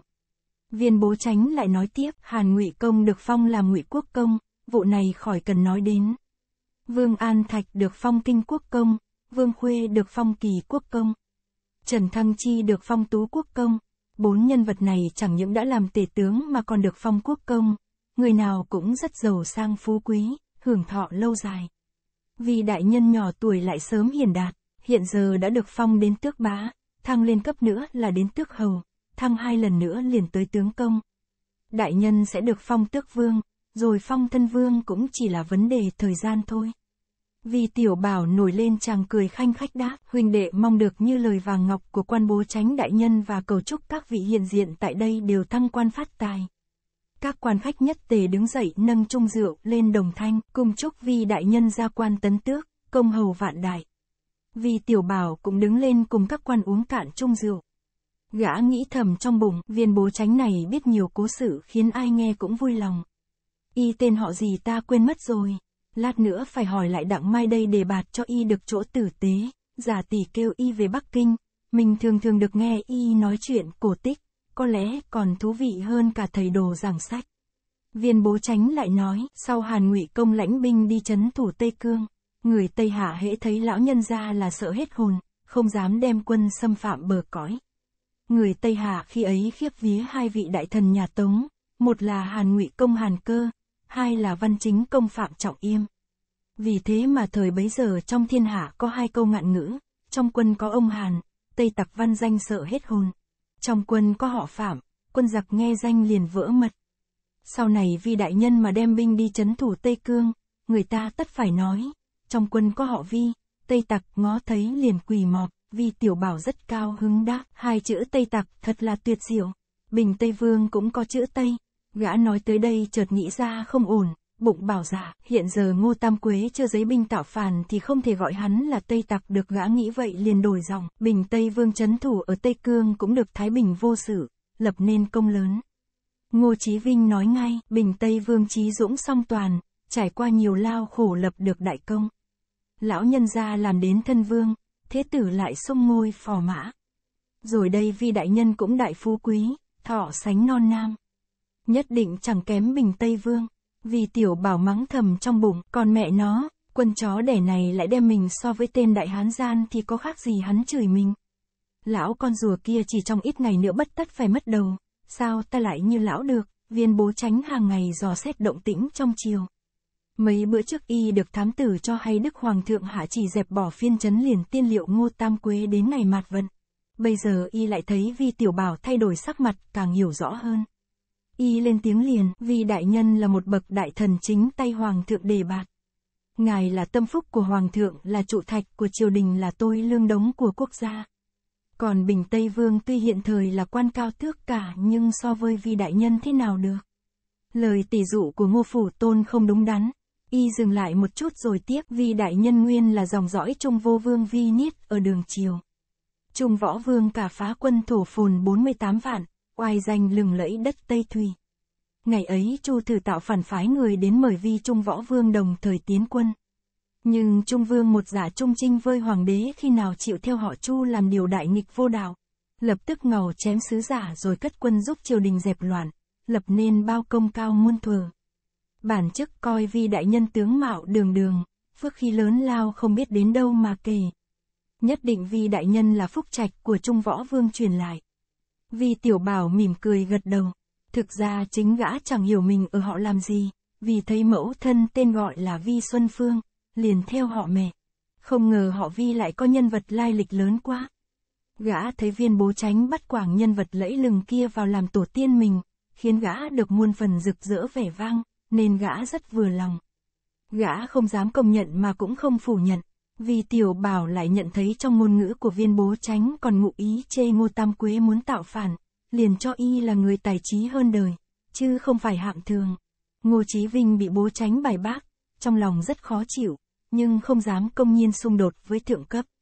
Hắn chỉ nói, ti chức nghe nói vì đại nhân là người trong đạo chính Hoàng Kỳ. Hiển nhiên câu này có ý cãi lại bố tránh và ngấm ngầm chất vấn, y là người mãn châu thì sao lại có liên quan đến vi niết đời nhà đường. Viên bố tránh cũng là tay đáo để liền cười đáp, ngô phủ tôn chỉ biết một, chứ không biết hai. Hiện nay thánh thiên tử trị vì, coi vạn dân trong thiên hạ nhất luật như nhau. Mãn hán cũng trong một nhà, sao còn phân chia lĩnh vực. Mấy câu này giải thích một cách gượng gạo, nhưng Ngô Chí Vinh cũng không dám tranh biện nữa. Hắn sợ nói nhiều không khéo lại đắc tội với khâm sai. Hắn liền luôn miệng khen phải. Viên bố tránh lại hỏi, Bình Tây Vương là người ở Cao Biêu, Phủ Dương Châu chúng ta. Vương gia họ Ngô, phải chăng Ngô Tôn Phủ cùng Bình Tây Vương là người một nhà? Ngô Chí Vinh không phải người ở Cao Biêu, lại chẳng liên quan gì đến Ngô Tam Quế. Nhưng lúc này quyền thế Ngô Tam Quế chẳng khác gì ông trời con, nên hắn có su viêm phụ nhiệt, lại cùng họ Ngô, liền đáp, theo thứ tự xếp hàng trong tộc thì ti chức thấp hơn Bình Tây Vương hai bậc. Ti chức kêu Bình Tây Vương bằng tộc tổ viên bố tránh gật đầu không nói với hắn nữa, quay sang thiết vi tiểu bảo, vi đại nhân, loại thược dược kim đái vi tuy hiện nay không còn hiếm như đời tống, nhưng ít khi nó nở hoa nhiều thế này. tì chức nghĩ rằng đúng lúc vi đại nhân đến thưởng hoa nó mới đua nở thì không phải chuyện ngẫu nhiên, mà nhất định bởi ý trời. tì chức có chút ý kiến muốn trình bày để đại nhân định đoạt. Vi tiểu bảo đáp, xin lão huynh chỉ giáo. Viên bố tránh nói, khi nào ti chức dám nhận hai chữ chỉ giáo của đại nhân. Rễ cây thực dược ở hàng thuốc nào cũng có. Nếu đại nhân muốn dùng để nuôi ngựa, ti chức nghĩ rằng những rễ cây ở các tiệm thuốc đã được chế luyện, càng thêm hiệu lực. Ti chức sẽ bảo họ cung ứng thật nhiều tải đến kinh sư. Còn như hoa thực dược ở đây, xin đại nhân nghĩ tình nó có công báo hỉ đối với đại nhân mà tạm thời lưu lại được chăng? Sau này vì đại nhân đeo ấn soái phá giặc lập nên công lớn, được bái tướng phong vương ngang hàng với hàn ngụy công, vi trung võ vương, lại đến đây thưởng hoa. Khi ấy những bông kim đái vi tranh nhau đua nởm nghinh tiếp quý nhân, há chẳng là một mỹ sự. Ti chức nghĩ rằng đây là một dịp góp tài liệu cho những nhà văn dựng lên tấn tuồng còn tiếp diễn mãi mãi. Vì tiểu bảo khoan khoái vô cùng, gã hỏi, bố tránh đại nhân bảo những diễn viên sẽ đem tiểu đệ ra đóng tuồng chăng?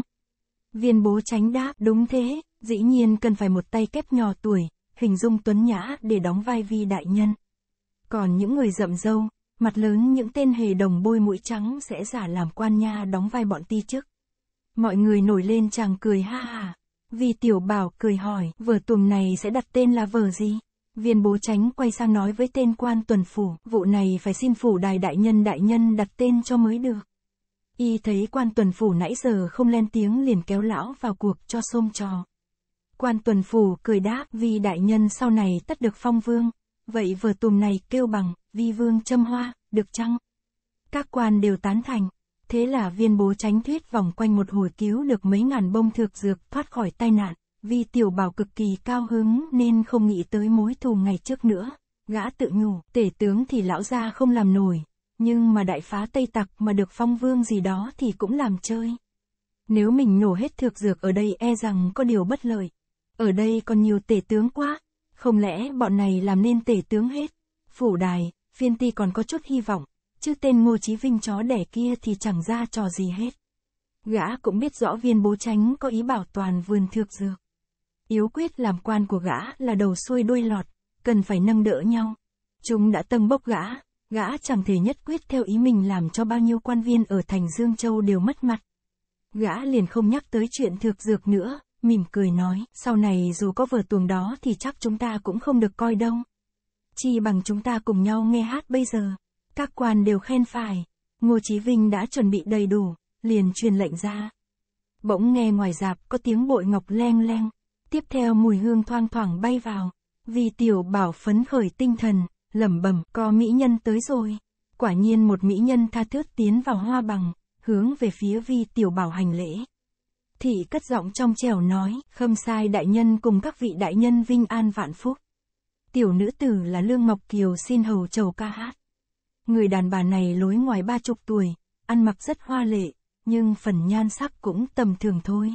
Địch sư liền thổi sáo, à đà cất tiếng hát theo, à hát hai bài thơ tả cảnh Dương Châu của Đỗ Mục, núi biếc lô nhô nước chảy quanh thu tàn cây cỏ cũng điêu linh nhịp cầu hai bốn đêm trăng, tỏ người Ngọc Tiêu Thanh gợi mối tình và một bài nữa là, lưu lạc Giang Nam đã bấy lâu, cùng người nhỏ bé ở bên nhau. Mười năm chợt tỉnh Dương Châu Mộng, mang tiếng trăng hoa nghĩ lại giàu tiếng địch du dương, tiếng ca huyền truyền nghe rất lọt tai. Vì tiểu bảo nhìn người ca kỹ bất giác trong lòng nổi cơn phiền muộn.